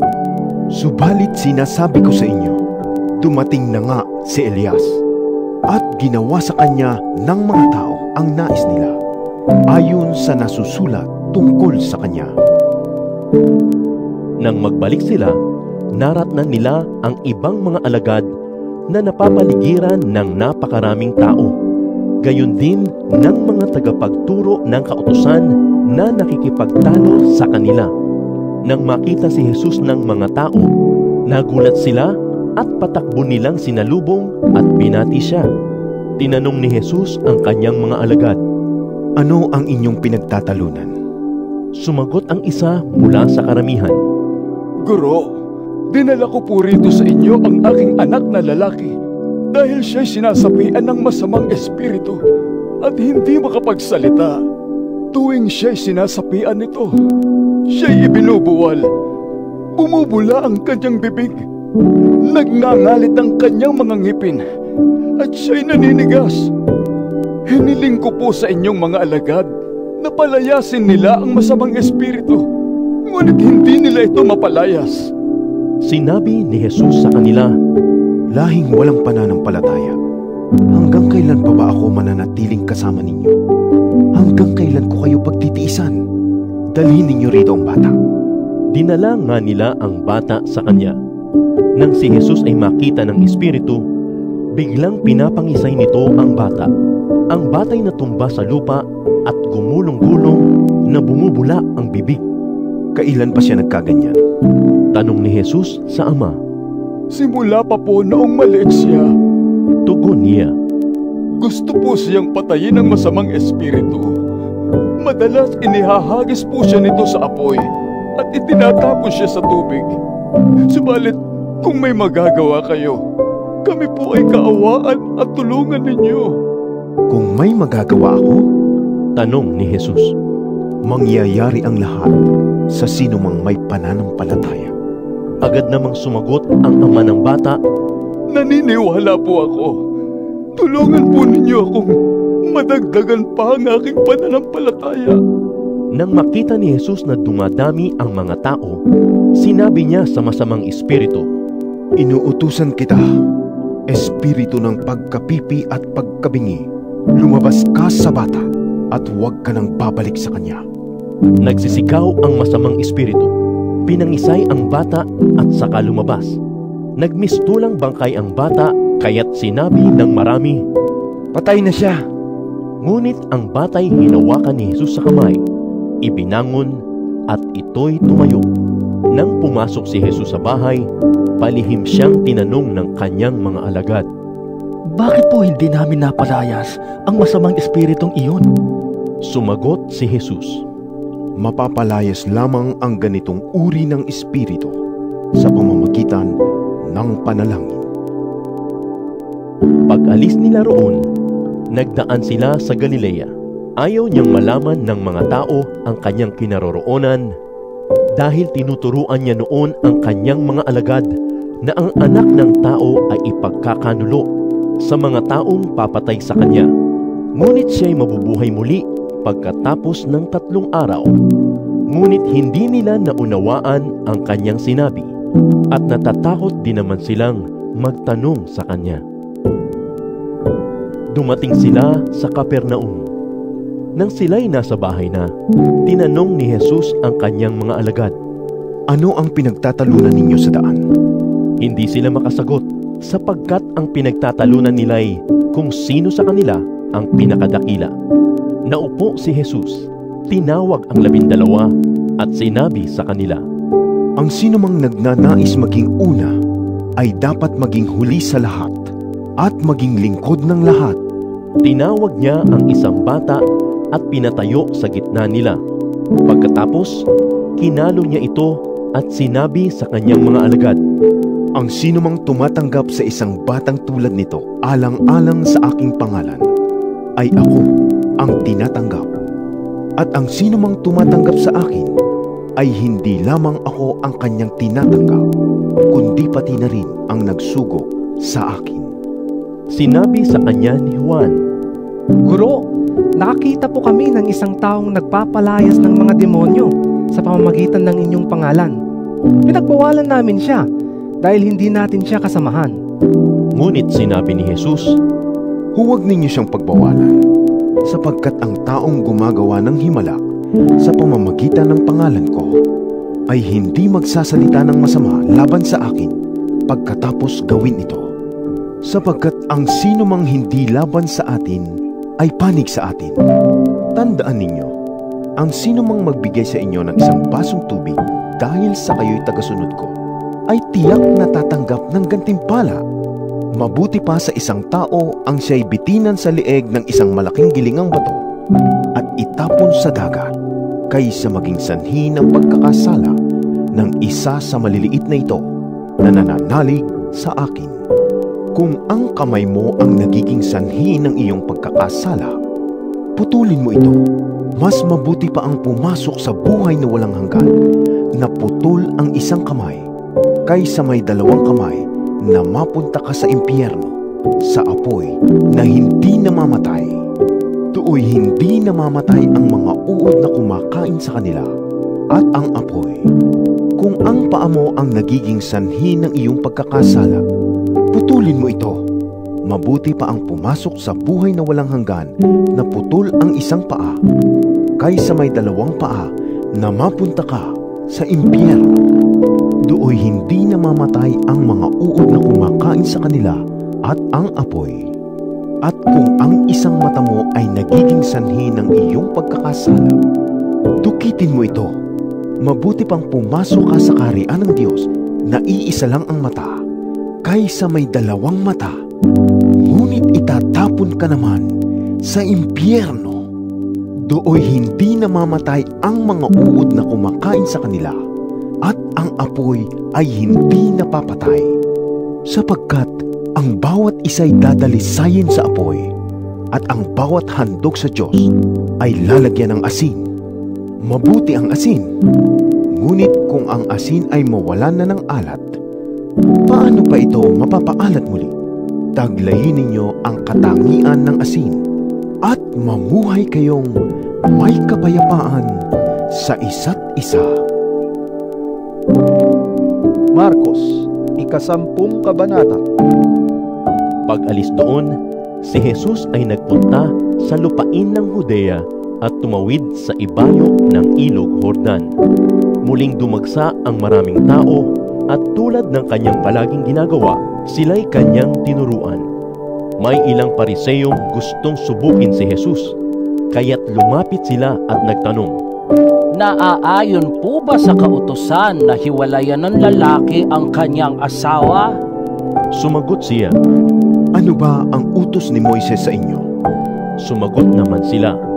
Ipinahintulot po ni Moises na ang lalaki ay gumawa ng kasulatan ng paghihiwalay bago niya hiwalayan at palayasin ang kanyang asawa. Ngunit sinabi ni Jesus, Ginawa ni Moises ang utos na iyon dahil sa katigasan ng inyong ulo. Subalit simula pa ng likhain ng Diyos ang sanlibutan, nilalang niya ang tao na lalaki at babae. Dahil dito'y iiwan ng lalaki ang kanyang ama at ina, magsasama sila ng kanyang asawa. At ang dalawa'y magiging isa. Hindi na sila dalawa, kundi isa.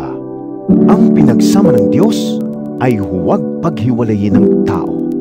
Pagdating sa bahay, ang mga alagad naman ang nagtanong kay Jesus tungkol sa bagay na ito. Sinabi niya sa kanila, Kapag hiniwalayan ng isang lalaki ang kanyang asawa at mag-asawa ng iba, siya ay nagkakasala ng pangangalo niya sa kanyang asawa.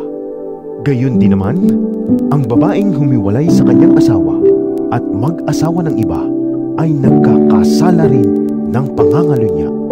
May mga taong nagdala ng mga bata kay Jesus upang hilinging ipatong niya sa mga ito ang kanyang kamay ngunit sinaway sila ng mga alagad. Nagalit si Jesus nang makita ito at sinabi sa kanila, Hayaan ninyong lumapit sa akin ang mga bata at huwag ninyo silang pagbawalan sapagkat ang mga katulad nila ang mapapabilang sa kaharian ng Diyos. Tandaan ninyo, ang sinumang hindi tumatanggap sa kaharian ng Diyos tulad sa pagtanggap ng isang bata ay hinding-hindi makakapasok sa kaharian ng Diyos. Hinalong ni Jesus ang mga bata, ipinatong ang kanyang mga kamay sa kanila at binasbasan sila. Nang siya'y paalis na, may isang lalaking patakbong lumapit kay Jesus. Lumuhod sa harapan niya at nagtanong, Mabuting guro, ano po ba ang dapat kong gawin upang makamtan ko ang buhay na walang hanggan? Sumagot si Jesus, Bakit mo ako tinatawag na mabuti? Walang mabuti kundi ang Diyos lamang. Alam mo ang mga utos ng Diyos. Huwag kang papatay. Huwag kang mangangalunya. Huwag kang magnanakaw. Huwag kang sasaksi ng walang katotohanan. Huwag kang mandaraya. Igalang mo ang iyong ama at ina. Sumagot ang lalaki, Guro, mula pa sa aking pagkabata, ay tinupad ko na ang lahat ng mga iyan. Magiliw siyang tiningnan ni Jesus at sinabi, May isang bagay pa na dapat mong gawin. Ipagbili mo ang iyong mga ari-arian at ipamigay mo sa mahihirap at magkakaroon ka ng kayamanan sa langit. Pagkatapos, bumalik ka at sumunod ka sa akin. Nang marinig ito ng lalaki, siya'y nalumo at malungkot na umalis sapagkat siya'y lubhang napakayaman. Tiningnan ni Jesus ang mga nasa paligid niya at sinabi sa mga alagad, Tunay ngang napakahirap para sa mayayaman ang makapasok sa kaharian ng Diyos. Nagtaka ang mga alagad sa sinabi niyang ito. Ngunit muling sinabi ni Jesus, Mga anak, talagang napakahirap para sa mga mayayaman na makapasok sa kaharian ng Diyos. Mas madali pang dumaan ang kamelyo sa butas ng karayong kaysa isang mayaman na pumasok sa kaharian ng Diyos. Lalong nagtaka ang mga alagad, kaya't nagtanong sila. Kung gayon, sino pa kaya ang maliligtas? Tiningnan sila ni Jesus at sinabi sa kanila, Hindi ito kayang gawin ng tao, ngunit hindi ito imposible sa Diyos, sapagkat ang lahat ng bagay ay kayang gawin ng Diyos. At nagsalita si Pedro, Tingnan po ninyo, iniwan na namin ang lahat at kami sumunod sa inyo. Sumagot si Jesus, Tandaan ninyo, ang sino mang nag-iwan ng kanyang tahanan o mga kapatid, mga magulang, mga anak, mga lupain, dahil sa akin at sa magandang balita, ay tatanggap sa buhay na ito ng isandaang ulit pa ng mga iyon, mga bahay, mga kapatid, mga ina, mga anak, at mga lupain. Ngunit may kalakip na pag-uusig at sa panahong darating, magtatamo siya ng buhay na walang hanggan. Ngunit maraming nauuna na mahuhuli at maraming nahuhuli ang mauuna. Nasa daan sila papuntang Jerusalem. Nauuna sa kanila si Jesus. Nangangamba ang mga alagad at natatakot naman ang ibang mga taong sumusunod sa kanya. Muling ibinukod ni Jesus ang labindalawa at sinabi sa kanila ang mangyayari sa kanya. Sabi niya, Papunta tayo ngayon sa Jerusalem, kung saan ang anak ng tao'y ipagkakanulo sa mga punong pari at sa mga tagapagturo ng kautusan. Siya'y hahatulan nila ng kamatayan at ibibigay sa mga hentil. Siya ay kanilang hahamakin, duduraan, hahagupitin, at papatayin. Ngunit pagkaraan ng tatlong araw, siya'y muling mabubuhay. Lumapit kay Jesus ang mga anak ni Zebedeo na sina Santiago at Juan. Sinabi nila, Guro, may hihilingin po sana kami sa inyo. Ano ang nais ninyo? Tanong ni Jesus. Sumagot sila, Sana po ay makasama kami sa inyong karangalan at maupo ang isa sa kanan at isa sa kaliwa. Ngunit sabi ni Jesus sa kanila, Hindi ninyo nalalaman ang inyong hinihingi. Makakaya ba ninyong tiisin ang hirap na aking taranasin? Makakaya ba ninyo ang bautismong ibabautismo sa akin? Opo. Tugon nila. Sinabi ni Jesus, Ang kopang aking iinuman ay iinuman nga ninyo at babautismuhan nga kayo sa bautismong tatanggapin ko. Ngunit hindi ako ang magpapasya kung sino ang mauupo sa aking kanan at sa aking kaliwa. Ang mga karangalang iyan ay para sa mga pinaglaanan. Nang malaman ito ng sampung alagad, nagalit sila sa magkapatid.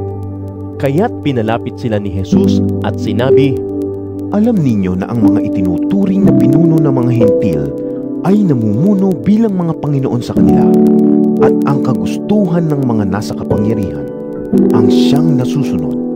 Ngunit hindi ganyan ang dapat umiral sa inyo. Sa halip, ang sino man sa inyo na nais maging dakila ay dapat maging lingkod ninyo. At ang sino mang nais maging pinuno ay dapat maging alipin ng lahat. Sapagkat ang anak ng tao ay naparito, hindi upang paglingkuran, kundi upang maglingkod at upang mag-alay ng kanyang buhay para sa ikatutubos ng marami. Dumating sina Jesus sa Jericho. Nang papaalis na siya, kasama ang kanyang mga alagad at marami pang iba, may nadaanan silang isang bulag na nakaupo sa tabi ng daan at namamalimos. Siya'y si Bartimeo na anak ni Timeo. Nang marinig ng bulag na ang nagdaraan ay si Jesus na taga Nazaret, sumigaw siya ng sumigaw. Jesus! Anak ni David! Mahabag po kayo sa akin! Pinagsabihan siya ng mga taong naroroon upang tumahimik, ngunit lalo pa siyang nagsisigaw. Anak ni David! Mahabag po kayo sa akin! Tumigil si Jesus at kanyang sinabi, Dalhin ninyo siya rito. At tinawag nga nila ang bulag. Lakasan mo ang iyong loob. Tumayo ka. Ipinapatawag ka ni Jesus. Sabi nila, inihagis niya ang kanyang balabal, paluksong tumayo at lumapit kay Jesus. Ano ang gusto mong gawin ko para sa iyo? Tanong sa kanya ni Jesus. Sumagot ang bulag. Guro, gusto ko pong makakitang muli. Sinabi ni Jesus, Makakaalis ka na. Magaling ka na dahil sa iyong pananampalataya. Noon di nakakita siya muli at sumunod kay Jesus. Marcos, ikalabing isang kabanata. Narating ni na Jesus ang mga bayan ng Betfage at Betania, malapit sa may bundok ng mga olibo. Nang papalapit na sila sa Jerusalem, pinauna ni Jesus ang dalawa sa mga alagad at sinabi sa kanila, Pumunta kayo sa susunod na nayon. Pagpasok na pagpasok, makikita ninyo ang isang batang asno na hindi pa nasasakyan ni naman. Kalagan ninyo iyon at dalhin nyo dito. Kapag may nagtanong kung bakit ninyo kinakalagan iyon, sabihin ninyong iyon ay kailangan ng Panginoon at ibabalik din niya agad. Kaya't lumakad ang dalawang alagad at nakita nga nila ang batang asno sa tabi ng daan. Nakatali ito sa may pinto ng isang bahay. Nang kinakalaganan nila ang hayop, tinanong sila ng ilang nakatayo roon. Bakit ninyo kinakalagan iyan? Sumagot sila gaya ng bili ni Jesus at hinayaan na silang umalis. Dinala nila kay Jesus ang batang asno. Matapos isapin sa likod nito ang kanilang mga balabal, ay sumakay si Jesus. Marami ang naglatag ng kanilang mga balabal sa daan. Samantalang ang iba na may pumutol ng madahong sanga ng kahoy at iyon ang kanilang inilatag sa daan. Ang mga tao sa unahan at sa hulihan ni Jesus ay sumisigaw ng ganito. Purihin ang Diyos! Pinagpala ang dumarating sa pangalan ng Panginoon! Pagpalain ang malapit ng itatag na kaharian ng ating amang si David! Purihin ang Panginoon sa kataas-taasan! Pumunta si Jesus sa Jerusalem at pumasok sa templo at tiningnan niya ang lahat ng bagay doon. At dahil gumagabi na, lumabas siya at nagbalik sa Betania na kasama ang labindalawa. Kinabukasan, nang pabalik na sila mula sa Betania, si Jesus ay nakaramdam ng gutom. Nakita niya sa di kalayuan ang isang malagong puno ng igos. Nilapitan niya ito upang tingnan kung may bunga. Dahil hindi pa panahon ng igos noon, wala siyang nakita kundi mga dahon lamang. Kaya't sinabi niya sa puno ng igos, Wala nang makakakain pa ng iyong bunga. Ang sinabi niyang iyon ay narinig ng kanyang mga alagad. Pagdating nila sa Jerusalem, si Jesus ay pumasok sa templo. Ipinagtabuyan niya ang mga nagbebenta at namimili roon. At ipinagtataob niya ang mga mesa ng mga namamalit ng salapi at ang mga upuan ng mga nagtitinda ng kalapati. Pinagbawalan din niyang tumawid sa patio ng templo ang mga may dalang paninda at tinuruan niya ang mga tao ng ganito. Nasusulat, ang aking tahanan ay tatawaging bahay dalanginan ng lahat ng bansa. Ngunit ginawa ninyo itong lungga ng mga magnanakaw. Narinig ito ng mga punong pari at ng mga tagapagturo ng kautusan. Buhat nooy humanap na sila ng paraan upang patayin si Jesus. Subalit natatakot sila sa kanya dahil humahanga ang lahat sa kanyang mga turo. Pagsapit ng gabi, si Jesus at ang kanyang mga alagad ay muling lumabas ng lungsod.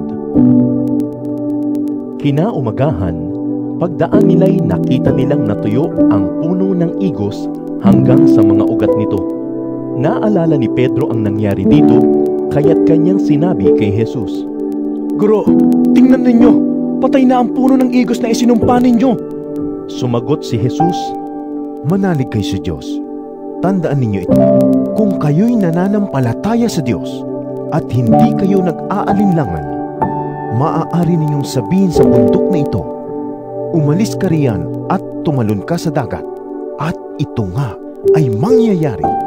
Kaya't sinasabi ko sa inyo, anuman ang hingin ninyo sa inyong panalangin, maniwala kayong natanggap na ninyo iyon at matatanggap nga ninyo iyon. Kapag kayo'y tumayo upang manalangin, patawarin muna ninyo ang nagkasala sa inyo upang ang inyong mga kasalanan ay patawarin din ng inyong Ama na nasa langit. Ngunit kung hindi kayo magpapatawad, hindi rin naman kayo patatawarin ng inyong Ama na nasa langit. Muli silang pumasok sa Jerusalem. Habang si Jesus ay naglalakad sa patio ng templo, nilapitan siya ng mga punong pari, ng mga tagapagturo ng kautusan at ng mga pinuno ng bayan. Siya'y tinanong nila, Ano ang karapatan mong gumawa ng mga bagay na ito? Sino ang nagbigay sa iyo ng kanyang karapatan? Sumagot si Jesus, Tatanungin ko kayo, sagutin ninyo ito at sasabihin ko sa inyo kung kanino galing ang karapatan kong gumawa ng mga bagay na ito. Sabihin ninyo sa akin, kanino galing ang karapatan ni Juan na magbautismo? Sa Diyos ba o sa mga tao? At sila'y nag-usap-usap. Kung sasabihin nating galing sa Diyos, itatanong naman niya sa atin kung bakit hindi natin pinaniwalaan si Juan. Ngunit kung sasabihin naman nating galing sa tao, baka kung ano naman ang gawin sa atin ng mga tao. Nangangamba sila sapagkat naniniwala ang marami na si Juan ay isang tunay na propeta. Kaya't ganito ang kanilang isinagot. Hindi namin alam. Kung gayon, hindi ko rin sasabihin sa inyo kung kanino galing ang karapatan kong gawin ang mga ito. Tugon ni Jesus sa kanila. Marcos, ikalabindalawang kabanata. At tinuruan ni Jesus ang mga tao sa pamamagitan ng mga talinghaga. Sinabi niya, May isang taong nagtanim ng ubas sa kanyang bukid. Pinabakuran niya ang ubasan. Nagpagawa ng pisaan ng ubas at nagpatayo ng isang tore. Pagkatapos, pinaupahan niya ang ubasan sa mga magsasaka at siya'y nagpunta sa ibang lupain. Nang dumating ang panahon ng pag-aani ng ubas, pinapunta niya ang isang alipin upang kunin sa mga magsasaka ang kanyang bahagi. Ngunit sinunggaban ng mga magsasaka ang utusan, binugbog at saka pinauwing walang dala. Muling nagsugo ang may-ari ng isa pang alipin, ngunit ito ay hinampas sa ulo at nilait-lait ng mga magsasaka. Nagsugo na naman ang may-ari ng isa pang alipin, ngunit pinatay naman nila ito. Ganoon din ang ginawa nila sa marami pang iba. May binugbog at may pinatay. Hindi nagtagal, iisa na lang ang natitirang maaaring papuntahin ng may-ari, ang kanyang minamahal na anak. Kaya't pinapunta niya ito sa pag-aakalang igagalang nila ang kanyang anak. Ngunit nag-usap-usap ang mga magsasaka. Iyan ang tagapagmana. Hali kayo, patayin natin siya upang mapasa atin lahat ng kanyang mamanahin. Kaya't sinunggaban nila at pinatay ito. At pagkatapos ay itinapon ang kanyang bangkay sa labas ng ubasan. Ano kaya ang gagawin ng may-ari ng ubasan? Pupuntahan niya at papatayin ang mga magsasakang iyon. At ang ubasan ay ipapamahala niya sa iba. Hindi ba ninyo nabasa ang sinasabi sa kasulatan? Ang batong itinakwil ng mga tagapagtayo ng bahay ang siyang naging batong panulukan. Ito'y ginawa ng Panginoon at kahangahangang pagmasdan. Nang mahalata ng mga pinuno ng mga Hudyo na sila ang tinutukoy ni Jesus sa mga talinghagang iyon, tinangka nilang dakpin siya. Subalit hindi nila ito magawa sapagkat natatakot sila sa mga tao. Kaya't umalis na lamang sila at iniwan si Jesus. Ilang pariseyo at ilan sa mga tagasunod ni Herodes ang pinapunta kay Jesus upang siluin siya sa kanyang pananalita. Kaya lumapit sila sa kanya at sinabi, Guro, nalalaman po namin kayo'y tapat at walang kinikilingan.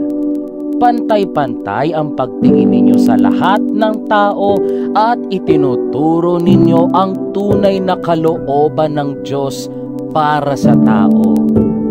Nais po naming itanong kung labag sa kautusan ang magbayad ng buwis sa emperador. Dapat po ba kaming magbayad ng buwis o hindi? Alam ni Jesus na sila'y nagkukunwari lamang, kaya sinabi niya sa kanila, Bakit ba ninyo ako sinusubok? Bigyan ninyo ako ng isang salaping pilak. At siya nga ay binigyan nila ng salaping pilak. Kaninong larawan at pangalan ang nakaukit dito? Tanong ni Jesus sa kanila. Sa emperador po. Tugon nila. Sinabi ni Jesus, Ibigay ninyo sa emperador ang para sa emperador at sa Diyos ang para sa Diyos. At sila'y labis na namangha sa kanya.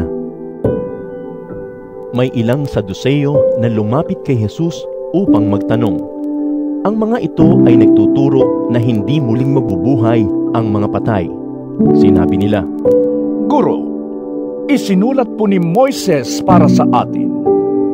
Kapag namatay ang isang lalaki at naiwang walang anak ang kanyang asawa, ang kapatid ng lalaki ay dapat pakasal sa byuda upang magkaanak sila para sa namatay. Mayroon pong pitong magkakapatid na lalaki. Nag-asawa ang panganay. Subalit, siya'y namatay na walang anak. Pinakasalan ng pangalawang kapatid ang byuda. Subalit, namatay rin ang lalaki na walang anak. Ganoon din ang nangyari sa pangatlo. Isa-isang napangasawa ng babae ang pitong magkakapatid at silang lahat ay namatay na walang anak. Sa kahuli-hulihay, ang babae naman ang namatay. Kapag binuhay na muli ang mga patay sa araw ng muling pagkabuhay, sino po ba sa pitong magkakapatid ang kikilalaning asawa ng babaeng iyon? Sapagkat silang lahat ay napangasawa niya. Sumagot si Jesus, Maling-mali kayo dahil hindi ninyo nauunawaan ang itinuturo ng kasulatan at ang kapangyarihan ng Diyos. Sa muling pagkabuhay, ang mga tao'y hindi na mag-aasawa. Sila'y magiging katulad na ng mga anghel sa langit.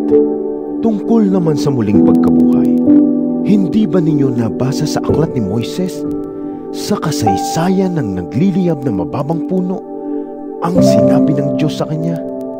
Ito ang sinabi niya, Ako ang Diyos ni Abraham, Diyos ni Isaac, at Diyos ni Jacob. Ang Diyos ay hindi Diyos ng mga patay. Siya ang Diyos ng mga buhay. Talagang maling-mali kayo. Ang kanilang pagtatalo ay narinig ng isa sa mga tagapagturo ng kautusan na naroon. Nakita niyang mahusay ang pagkasagot ni Jesus sa mga Saduseyo kaya siya naman ang lumapit upang magtanong. Alin po ba ang pinakamahalagang utos? Sumagot si Jesus, Ito ang pinakamahalagang utos. Pakinggan mo, Israel. Ang Panginoon na ating Diyos, siya lamang ang Panginoon.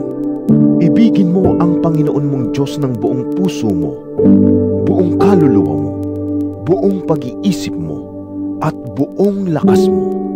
Ito naman ang pangalawa. Ibigin mo ang iyong kapwa, gaya ng pag-ibig mo sa iyong sarili. Wala nang ibang utos na hihigit pa sa mga ito. Wika ng tagapagturo ng kautusan. Tama po, Guro. Totoo ang sinabi ninyo. Iisa nga ang Diyos at wala nang iba liban sa Kanya. At higit na mahalaga ang umibig sa Kanya ng buong puso, buong pag-iisip at buong lakas. At ang umibig sa kapwa gaya ng pag-ibig sa sarili kaysa magdala ng lahat ng handog na susunugin at iba pang mga alay. Nakita ni Jesus na maganda ang sagot nito, kaya't sinabi niya, Hindi ka na nalalayo sa kaharian ng Diyos. At mula noon ay wala nang nangahas na magtanong kay Jesus. Habang si Jesus ay nagtuturo sa templo, sinabi niya, Bakit sinasabi ng mga tagapagturo ng kautusan na ang Kristo ay anak ni David? Hindi ba't si David na rin ang nagpahayag ng ganito nang siya'y gabayan ng Espiritu Santo? Sinabi ng Panginoon sa aking Panginoon, Maupo ka sa kanan ko, hanggang lubusan kong mapasuko sa iyo ang mga kaaway mo. Si David na rin ang tumawag sa kanya ng Panginoon. Paano siya magiging anak ni David? Napakaraming tao ang malugod na nakikinig sa kanya. Sa kanyang pagtuturo, sinabi ni Jesus, Mag-ingat kayo sa mga tagapagturo ng kautusan na mahilig magpalakad-lakad na suot ang kanilang mahahabang damit at gustong-gustong binabati ng may paggalang sa mga pamilihan. Ang gusto nila ay ang mga natatanging upuan sa mga sinagoga at ang mga upuang pandangal sa mga handaan. Inuubos nila ang kabuhayan ng mga byuda at ang mahahaba nilang dasal ay mga pagkukunwari lamang. Dahil dyan, mas mabigat na parusa ang igagawad sa kanila. Naupo si Jesus sa tapat ng hulugan ng mga kaloob sa templo at pinagmasdan ang mga naguhulog ng salapi. Napansin niyang maraming mayayaman ang naguhulog ng malalaking halaga. Lumapit naman ang isang biyudang dukha at naghulog ng dalawang salaping tanso. Tinawag ni Jesus ang kanyang mga alagad at sinabi sa kanila, Sinasabi ko sa inyo, ang inihandog ng biyudang iyon ay higit na marami kaysa sa inihulog nilang lahat, sapagkat ang lahat ay nagkaloob ng bahagi lamang ng kanilang kayamanan. Ngunit ang ibinigay ng babaeng iyon, bagamat siya'y dukha, ay ang buo niyang ikinabubuhay. Marcos, ikalabing tatlong kabanata. Nang palabas na si Jesus sa templo, sinabi sa kanya ng isa sa kanyang mga alagad, Guro, tingnan po ninyo. Napakalaki at napakaganda ng mga gusali at ng mga batong ginamit dito. Sumagot si Jesus, Nakikita mo ba ang naglalakihang gusaling iyan? Walang batong magkapatong na matitira dyan. Magigiba lahat iyan. Habang nakaupo si Jesus sa bundok ng mga olibo, sa may tapat ng templo, palihim siyang tinanong ni na Pedro, Santiago, Juan at Andres, Kailan po ba mangyayari ang mga bagay na ito? At ano po ba ang palatandaan na ang lahat ng mga ito'y malapit na maganap? Sinabi sa kanila ni Jesus, Mag-ingat kayo upang hindi kayo malinlang ninuman. Maraming darating at gagamitin ang aking pangalan. Sila ay magpapanggap na sila ang Kristo at ililigaw nila ang marami. Huwag kayong mababagabag kung makabalita kayo ng mga digmaan at mga usap-usapan tungkol sa digmaan. Dapat mangyari ang mga ito, ngunit hindi pa ito ang wakas. Sapagkat maglalaban-laban ang mga bansa at ang mga kaharian, lilindol sa iba't ibang dako at magkakaroon ng mga tagutom. Ang mga ito'y pasimula pa lamang ng paghihirap na tulad ng nararanasan ng isang nanganganak. Mag-ingat kayo sapagkat kayo'y darakpin at isasaktal sa mga kataas-taasang kapulungan ng mga Hudyo. Hahagupitin sa mga sinagoga at dadalhin kayo sa mga gobernador at mga hari nang dahil sa inyong pagsunod sa akin upang magpatotoo sa kanila. Ngunit kailangan mo nang maipangaral sa lahat ng bansa ang magandang balita. Kapag kayo'y dinakip nila at nilitis, huwag kayong mabahala kung ano ang sasabihin ninyo. Sa oras na iyon, sabihin ninyo ang mga salitang ibibigay sa inyo, sapagkat hindi kayo ang magsasalita, kundi ang Espiritu Santo. Ipagkakanulo ng kapatid ang kanyang sariling kapatid upang ipapatay. Gayun din ang gagawin ng ama sa kanyang anak at lalabanan naman ng mga anak ang kanilang mga magulang at ipapapatay ang mga ito. Kapupuotan kayo ng lahat dahil sa pagsunod sa akin. Ngunit ang manatiling matatag hanggang sa wakas ang siyang maliligtas. Kapag nakita na ninyo ang kasuklam-suklam na kalapastanganan na nasa dakong di dapat kalagyan, unawain ito ng nagbabasa. Ang mga nasa Hodea ay dapat nang tumakas papuntang kabundukan. Ang nasa bubungan ay huwag nang mag-aksaya ng panahon na kumuha pa ng kahit na ano sa loob ng bahay. At ang nasa bukid ay huwag nang umuwi pa upang kumuha ng balabal. Sa mga araw na iyon, kawawa ang mga nagdadalang tao at mga nagpapasuso. Ipanalangin ninyong huwag mangyari ang mga ito sa panahon ng taglamig, sapagkat sa mga araw na iyon, ang mga tao'y magdaranas ng matinding kapighatian na hindi pa nararanasan mula ng likhain ng Diyos ang sanlibutan at hindi na muling mararanasan pa kahit kailan. At kung hindi pinaikli ng Panginoon ang mga araw na iyon, walang sino mang makakaligtas. Subalit, alang-alang sa kanyang mga hinirang, pinaikli niya ang mga iyon. Kung may magsabi sa inyo, Narito ang Kristo, o kaya'y naroon siya. huwag kayong maniniwala sapagkat may mga magpapanggap na Kristo at may mga magpapanggap na propeta. Magpapakita sila ng mga himala at mga kababalaghan upang iligaw kung maaari maging ang mga hinirang ng Diyos. Kaya't mag-ingat kayo.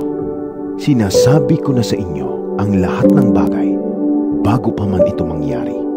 Subalit sa mga araw na iyon, pagkatapos ng kapighatiang iyon, magdidilim ang araw, hindi magliliwanag ang buwan, malalaglag mula sa langit ang mga bituin, at magugulo ang mga kapangyarihan sa kalawakan. Pagkatapos, makikita nila ang anak ng tao na nasa ulap, may dakilang kapangyarihan at karangalan. Susuguin niya ang kanyang mga anghel sa apat na sulok ng daigdig upang tipunin ng mga ito ang mga hinirang ng Diyos. Unawain ninyo ang aral mula sa puno ng igos. Kapag sumisibol na ang mga sanga nito at nagkakadahon na, alam ninyong malapit na ang tag-araw. Gayun din naman, kapag nakita ninyong nangyayari na ang mga bagay na ito, malalaman ninyong malapit na ang kanyang pagdating. Siya'y halos naririto na. Tandaan ninyo, magaganap ang lahat ng ito bago lumipas ang kasalukuyang salinlahi. Lilipas ang langit at ang lupa, ngunit ang aking mga salita ay mananatili magpakailanman. Ngunit walang nakakaalam ng araw o ng oras na iyon kahit ang mga anghel sa langit o ang anak man, ang ama lamang ang nakakaalam nito. Mag-ingat kayo at maging handa dahil hindi ninyo alam kung kailan ito mangyayari. Ang katulad nito ay isang taong maglalakbay sa malayo. Iniwan niya ang kanyang tahanan sa pamamahala ng kanyang mga alipin. Binigyan niya ang bawat isa ng kanya-kanyang gawain at inutusan niya ang tanod na magbantay. Gayun din naman, magbantay kayong lagi dahil hindi ninyo alam kung kailan darating ang Panginoon ng sambayan. Ito'y maaaring sa takip silim, sa hating gabi, sa madaling araw, o kaya'y sa umaga. Baka siya'y biglang dumating at maratnan kayong natutulog. Ang sinasabi ko sa inyo'y sinasabi ko sa lahat. Maging handa kayo. Marcos, ikalabing apat na kabanata. Dalawang araw na lamang at pista na ng Paskwa at ng tinapay na walang pampaalsa. Ang mga punong pari at mga tagapagturo ng kautusan ay patuloy na naghahanap ng paraan upang maipadakip si Jesus ng palihim at maipapatay. Huwag sa kapistahan at baka magkagulo ang mga tao. Sabi nila, nasa Bitanya noon si Jesus, sa bahay ni Simon na may ketong. Habang siya'y kumakain, dumating ang isang babaeng may dalang isang sisidlang alabastro na puno ng napakamahal na pabango mula sa katas ng purong nardo. Binasag niya ang sisidlan at ibinuhos ang pabango sa ulo ni Jesus. Nagalit ang ilang naroroon at sila'y nag-usap-usap. Bakit niya inaksaya ang pabango? Maaaring ipagbili iyon ng mahigit sa tatlong daan sa laping pilak at maibigay sa mga dukha ang pinagbilhan. At pinagalitan nila ang babae. Ngunit sinabi naman ni Jesus, Bakit ninyo siya ginugulo? Pabayaan ninyo siya. Isang mabuting bagay ang ginawa niyang ito sa akin. Sapagkat habang panahoy kasama ninyo ang mga dukha, at anumang oras ninyong naisin, ay makakagawa kayo sa kanila ng mabuti. Ngunit ako'y hindi ninyo kasama habang panahon. Ginawa niya ang kanyang makakaya, hindi pa may binuhusan na niya ng pabango ang aking katawan bilang paghahanda sa paglilibing sa akin. Tandaan ninyo, saan man sa buong mundo ipangaral ang magandang balita, ang ginawa ng babaeng ito ay ipahahayag bilang pag-alaala sa kanya. Si Judas Iscariote, na kabilang sa labindalawa, ay pumunta sa mga punong pari upang ipagkanulo si Jesus. Natuwa sila nang marinig nila ang alok ni Judas at nangakong bibigyan siya ng salapi. Mula nooy humanap na si Judas ng pagkakataong maipagkanulo si Jesus.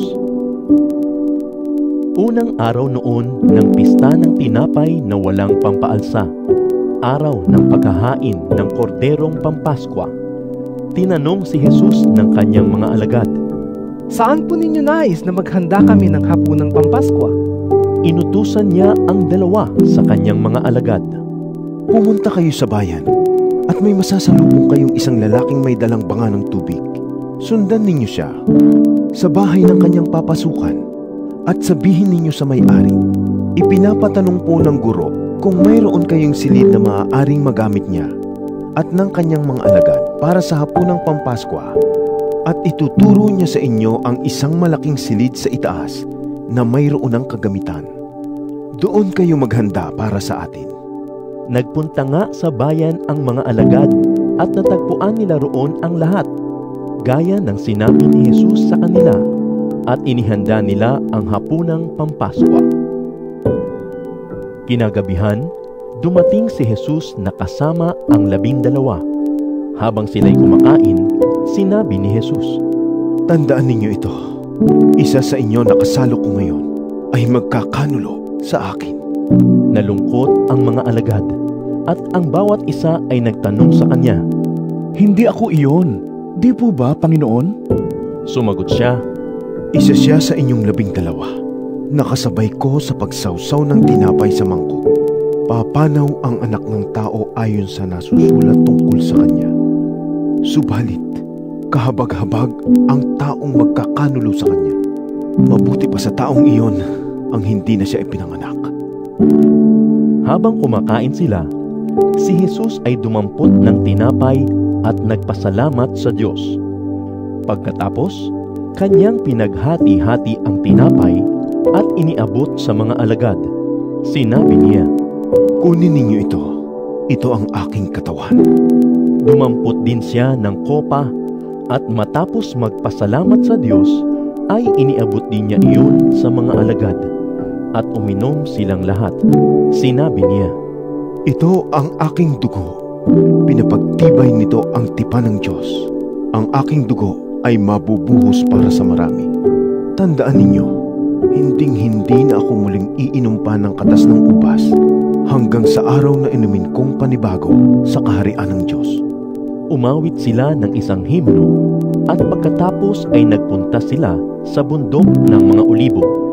Sinabi ni Jesus sa kanila, Ako'y iiwan ninyong lahat sapagkat sinasabi sa kasulatan, papatayin ko ang pastol at magkakawatak-watak ang mga tupa. Ngunit pagkatapos na ako'y muling buhayin, mauuna ako sa inyo sa Galilea.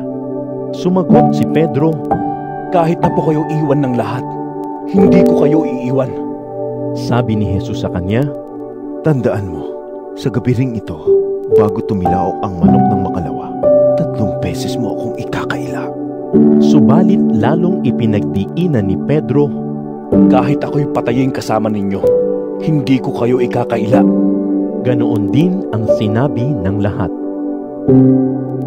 Dumating sila sa isang lugar na tinatawag na Getsemani. Sinabi ni Jesus sa kanyang mga alagad, Maupo muna kayo rito habang ako'y nananalangin. At isinama niya sina Pedro, Santiago at Juan. Nagsimulang mabagabag at maghirap ang kanyang kalooban. Sinabi niya sa kanila, Ang puso ko'y labis na nalulungkot at ako'y halos mamatay na. Maghintay kayo rito at magbantay.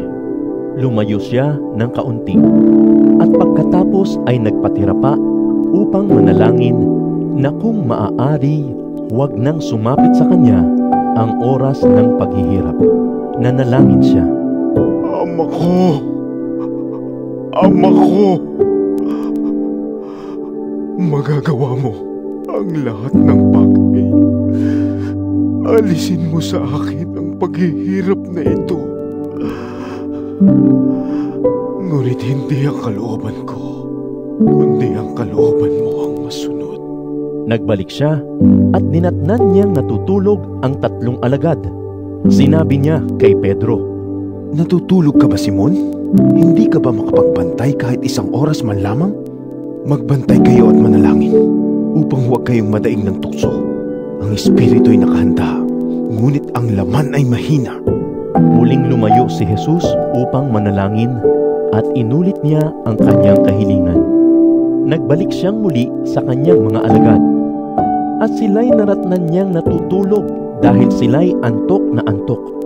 At hindi nila malaman kung ano ang kanilang isasagot sa kanya. Sa ikatlo niyang pagbabalik ay sinabi niya sa kanila, Natutulog pa ba kayo at namamahinga? Tama na, sapagkat dumating na ang oras upang ang anak ng tao'y ibigay sa kamay ng mga makasalanan. Bumangon kayo. Narito na ang magkakanulo sa akin. Nagsasalita pa si Jesus nang dumating si Judas na kabilang sa labindalawa. May kasama siyang maraming tao na may mga dalang tabak at pamalo. Sila'y isinugo ng mga punong pari, mga tagapagturo ng kautusan at mga pinuno ng bayan. Bago pa man dumating, nagbigay na si Judas ng isang hudyat. Kung sino ang hahalikan ko, siya iyon. Dakpin ninyo siya at bantayang mabuti. Pagdating ni Judas, agad siyang lumapit kay Jesus. Guro! Ang bati niya at ito'y kanyang hinalikan. Agad ngang sinunggaban at dinakip ng mga tao si Jesus. Bumunot ng tabak ang isa sa mga nakatayo roon at tinaga ang alipin ng pinakapunong pari at natagpas ang taingan niyon. Sinabi ni Jesus sa mga tao, Ako ba'y tulisan at naparito kayong may dalang tabak at pamalo upang ako'y dakpin? Araw-araw akong nagtuturo sa templo at naroon din kayo. Ngunit hindi ninyo ako dinakip. Subalit kailangang matupad ang sinasabi ng kasulatan. Tumakas ang lahat ng mga alagad at iniwan siya. Sinundan si Jesus ng isang binatang walang damit maliban sa balabal niyang lino. Sinunggaban ito ng mga tao, ngunit iniwan niya ang kanyang balabal at tumakas na hubad. Dinala nila si Jesus sa bahay ng pinakapunong pari na kung saan ay nagkakatipo na doon ang lahat ng mga punong pari, mga pinuno ng bayan at mga tagapagturo ng kautusan. Si Pedro'y sumunod kay Jesus, ngunit malayo ang agwat niya sa kanya. Nagtuloy siya hanggang sa patio ng pinakapunong pari at naupo upang magpainit sa tabi ng apoy. Katabi niya roon ang mga bantay, ang mga punong pari at ang buong kataas-taasang kapulungan ng mga Hudyo ay naghanap ng maipaparatang kay Jesus upang siya'y maipapatay. Ngunit wala silang makita. Maraming saksi ang nagsabi ng kasinungalingan laban sa kanya. Ngunit hindi nagkatugma-tugma ang kanilang mga patutuo. May ilang sumaksi ng kasinungalingan laban sa kanya na nagsasabi, Narinig naming sinabi ng taong iyan, Gigibain ko ang templong ito na gawa ng tao at sa loob ng tatlong araw ay magtatayo ako ng iba na di gawa ng tao. Ngunit hindi rin nagkatugma-tugma ang kanilang mga patutuo tungkol dito. Tumayo ang pinakapunong pari sa harap ng kapulungan at tinanong si Jesus. Wala ka bang isasagot sa paratang nila sa iyo? Ngunit hindi umimik si Jesus at hindi sumagot ng anuman. Muli siyang tinanong ng pinakapunong pari. Ikaw nga ba ang Kristo? Ang anak ng kapuri-puri? Sumagot si Jesus. Ako nga, makikita ninyo ang anak ng tao na nakaupo sa kanan ng makapangyarihan at dumarating na nasa mga ulap ng kalangitan. Pinunit ng pinakapunong pari ang kanyang kasuotan at sinabi, Kailangan pa ba natin ng mga saksi? Narinig ninyo ang kanyang paglapastangan sa Diyos? Ano ang inyong pasya? At nagkaisa silang lahat na hatulan siya ng kamatayan. At siya'y sinimulan nilang pahirapan. Dinuraan siya ng ilan, piniringan at pinagsusuntok. Hulaan mo nga, sino ang sumuntok sa iyo? Sabi nila, at siya'y binugbog ng mga bantay. Samantala, si Pedro naman ay nasa patio sa ibaba nang lumapit ang isang babaeng katulong ng pinakapunong pari. Nakita nito si Pedro na nagpapainit sa apoy. Pinagmasdang mabuti at pagkatapos ay sinabi, Kasama ka rin ni Jesus na taga Nazaret. Ngunit nagkaila si Pedro. Wala akong nalalaman sa sinasabi mo. Umalis siya at nagpunta sa labasan at tumilaok ang manok. Nakita na naman siya ng babaeng katulong at sinabi sa mga naroon. Ang taong ito'y isa sa kanila. At muling nagkaila si Pedro. Makalipas ang ilang sandali, sinabi kay Pedro ng mga nakatayo roon. Talagang isa ka nga sa kanila. Taga Galilea ka rin, hindi ba? Parusahan nawa ako ng Diyos kung nagsisinungaling ako. Hindi ko kilala ang taong iyan. Sagot ni Pedro. Siya namang pagtilaok muli ng manok. Naalala ni Pedro ang sinabi sa kanya ni Jesus. Bago tumilaok ang manok ng dalawang beses, tatlong beses mo akong ikakaila. Nanlumo siya at nanangis. Marcos, ikalabinlimang kabanata. Kinaumagahan, nagpulong agad ang mga punong pari, mga pinuno ng bayan, mga tagapagturo ng kautusan, at iba pang bumubuo ng kataas-taasang kapulungan ng mga Hudyo. Ipinagapos nila si Jesus at dinala kay Pilato. Ikaw ba ang hari ng mga Hudyo? Tanong sa kanya ni Pilato. Ikaw na ang may sabi. Tugon naman ni Jesus. Nagharap ng maraming paratang ang mga punong pari laban kay Jesus. Kaya't siya'y muling tinanong ni Pilato.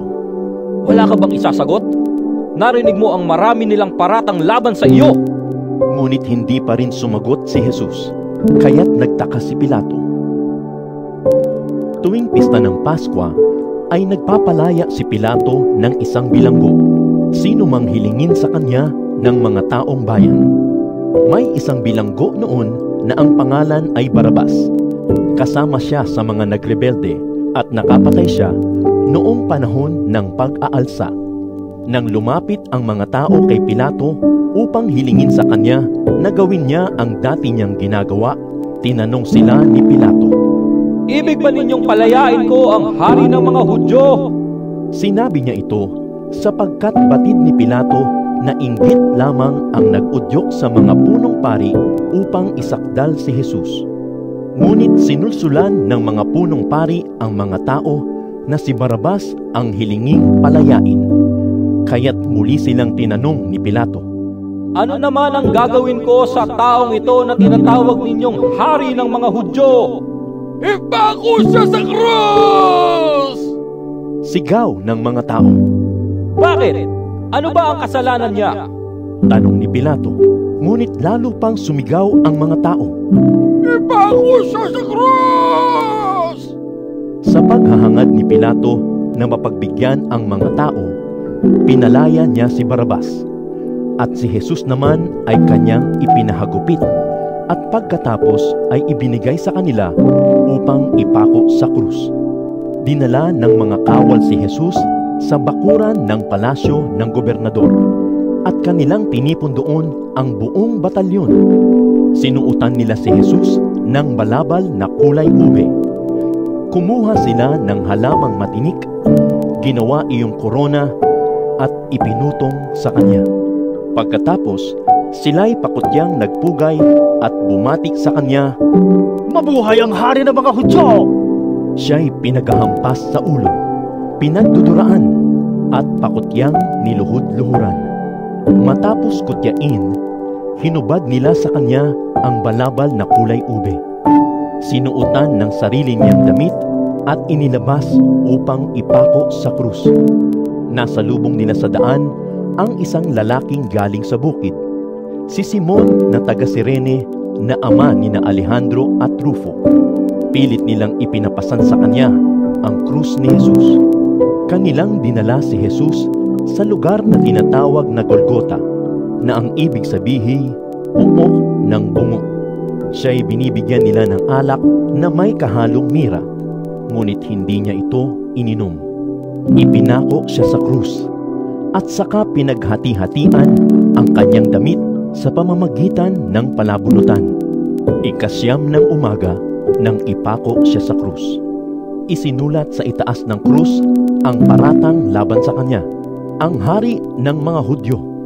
May dalawang tulisang kasama niyang ipinako sa krus, isa sa kanan at isa sa kaliwa. Sa gayon ay natupad ang sinasabi sa kasulatan. Ibinilang siya sa mga kriminal. Ininsulto siya ng mga nagdaraan at pailing-iling na sinabi, O ano? Di ba ikaw ang gigiba sa templo at muling magtatayo nito sa loob ng tatlong araw? Bumaba ka sa krus at iligtas mo ngayon ang iyong sarili. Kinutya rin siya ng mga punong pari at ng mga tagapagturo ng kautusan. Sabi nila sa isa't isa, Iniligtas niya ang iba, ngunit hindi mailigtas ang sarili. Makita lamang nating bumaba sa krus ang Kristo na iyan, na hari daw ng Israel. Maniniwala na tayo sa kanya. Nilait din siya ng mga nakapakong kasama niya. Nagdilim sa buong lupain, mula sa tanghaling tapat hanggang sa ikatlo ng hapon. Nang ikatlo na ng hapon, sumigaw si Jesus. Eloy! Eloy! Lema! Sabachthani! Na ang kahulugan ay, Diyos ko! Diyos ko! Bakit mo ako pinabayaan? Narinig ito ng ilan sa mga nakatayo roon at kanilang sinabi, Pakinggan ninyo! Tinatawag niya si Elias. May tumakbo upang kumuha ng isang espongha. Ito'y isinawsaw sa maasim na alak, inilagay sa dulo ng isang patpat at ipinasipsip kay Jesus. Tingnan nga natin kung darating si Elias upang iligtas siya. Sabi niya, sumigaw ng malakas si Jesus at pagkatapos ay nalagutan ng hininga at napunit sa gitna ang tabing ng templo mula sa itaas hanggang sa ibaba. Nakatayo sa harap ng krus ang opisyal ng mga kawal. Nang makita kung paano namatay si Jesus, sinabi niya, Oh, tunay ngang anak ng Diyos ang taong ito. Naroon din ang ilang babaeng nakatanaw mula sa malayo. Kabilang sa kanila si Maria Magdalena, si Salome, at si Maria na ina ng nakababatang si Santiago at ni Jose. Mula pa sa Galilea ay sumusunod na sila at naglilingkod kay Jesus. Naroon din ang iba pang mga babaeng kasama ni Jesus na pumunta sa Jerusalem. Nang dumidilim na, dumating si Jose na taga Arimatea, isang iginagalang na kasapi ng kapulungan. Siya rin ay naghihintay sa pagdating ng kaharian ng Diyos. Dahil iyon ay araw ng paghahanda o bisperas ng araw ng pamamahinga, naglakas loob siyang lumapit kay Pilato upang hingin ang bangkay ni Jesus. Nagtaka si Pilato nang marinig niyang patay na si Jesus. Kaya't ipinatawag niya ang opisyal at tinanong kung matagal na siyang namatay. Nang malaman niya sa kapitan na talagang patay na si Jesus, pumayag siyang kunin ni Jose ang bangkay. Ibinaba mula sa krus ang bangkay ni Jesus at binalot sa telang lino na binili ni Jose. Pagkatapos, ang bangkay ay inilagay sa isang libingang hinukay sa bato at iginulong ni Jose ang isang malaking bato sa pintuan ng libingan. Nagmamasid naman sina Maria Magdalena at Maria na ina ni Jose at nakita nila kung saan inilibing si Jesus. Marcos, ikalabing anim na kabanata. Pagkaraan ng araw ng pamamahinga, si Maria Magdalena, si Maria na ina ni Santiago at si Salome ay bumili ng pabango upang sila ay magpunta sa libingan at lagyan ng pabango ang bangkay ni Jesus. Kinaumagahan ng linggo, sa pagsikat ng araw, sila'y nagpunta sa libingan. Ngunit sila ay nagtanong sa isa't isa. Sino kaya ang maaari nating mapakiusapang maggulong ng batong nakatakip sa pintuan ng libingan? Nasabi nila iyon dahil napakalaki ng bato. Ngunit nang matanaw nila ito, nakita nilang naigulong na ang bato. At pagpasok nila sa libingan, may nakita silang isang binatang nakasuot ng mahaba at maputing damit at nakaupo sa gawing kanan. At sila'y natakot, ngunit sinabi nito sa kanila, Huwag kayong matakot. Hinahanap ninyo si Jesus na taga Nazaret na ipinako sa krus. Wala na siya rito. Siya'y binuhay ng Diyos. Tignan ninyo ang pinaglagyan sa Kanya. Bumalik kayo at sabihin ninyo sa Kanyang mga alagad at kay Pedro, mauuna siya sa inyo sa Galilea. Makikita ninyo siya roon, gaya ng sinabi niya sa inyo. Lumabas sila ng libingan at patakbong umalis na nanginginig at litong-lito. At dahil sa matinding takot, wala silang sinabi kanino man. Maagang maaga ng unang araw ng linggo, matapos na siya'y muling mabuhay, si Jesus ay unang nagpakita kay Maria Magdalena. Pitong demonyo ang pinalayas ni Jesus mula sa kanya. Nagpunta si Maria Magdalena sa mga tagasunod ni Jesus upang ibalita sa mga ito ang kanyang nakita. Sila noon ay kasalukuyang nagluluksa at umiiyak. Ngunit ayaw nilang maniwala nang sabihin ni Maria na si Jesus ay buhay at nakita niya. Pagkatapos, nagpakita rin si Jesus sa dalawang alagad na naglalakad papuntang bukid. Subalit iba ang kanyang anyo noon. Bumalik agad sila at ibinalita sa kanilang mga kasamahan ang nangyari. Ngunit ayaw din silang paniwalaan ng mga ito. Pagkatapos, nagpakita si Jesus sa labing isang alagad habang kumakain ang mga ito. Sila ay pinagalitan niya dahil sa hindi nila pananalig sa kanya at dahil sa katigasan ng kanilang ulo. Dahil ayaw nilang maniwala sa mga nakakita sa kanya pagkatapos na siya'y muling mabuhay. At sinabi ni Jesus sa kanila, Humayo kayo sa buong mundo at ipangaral ang magandang balita sa lahat ng tao. Ang sino mang sumasampalataya at mabautismuhan ay maliligtas. Ngunit ang ayaw sumampalataya ay paparusahan. Ang mga sumasampalataya ay bibigyan ng kapangyarihang gumawa ng mga himala. Sa pangalan ko'y magpapalaya sila ng mga demonyo at magsasalita ng iba't ibang wika. Hindi sila mapapahamak kahit dumampot sila ng ahas o makainom ng lason at gagaling ang mga may sakit na papatungan nila ng kamay. Pagkatapos niyang magsalita sa kanila, ang Panginoong Hesus ay iniakyat sa langit at umupo sa kanan ng Diyos. Humayo nga at nangaral ang mga alagad sa lahat ng dako. Tinulungan sila ng Panginoon sa gawaing ito. Pinatunayan niyang totoo ang kanilang ipinapangaral sa pamamagitan ng mga himala na ipinagkaloob niya sa kanila. Pumunta ang mga babae kay Pedro at sa mga kasama niya at isinalaysay ang lahat ng sinabi ng binatang nasa libingan. Pagkatapos, isinugo ni Jesus ang kanyang mga alagad upang ipangaral sa lahat ng dako ng daigdig ang banal at dililipas na balita ng walang hanggang kaligtasan.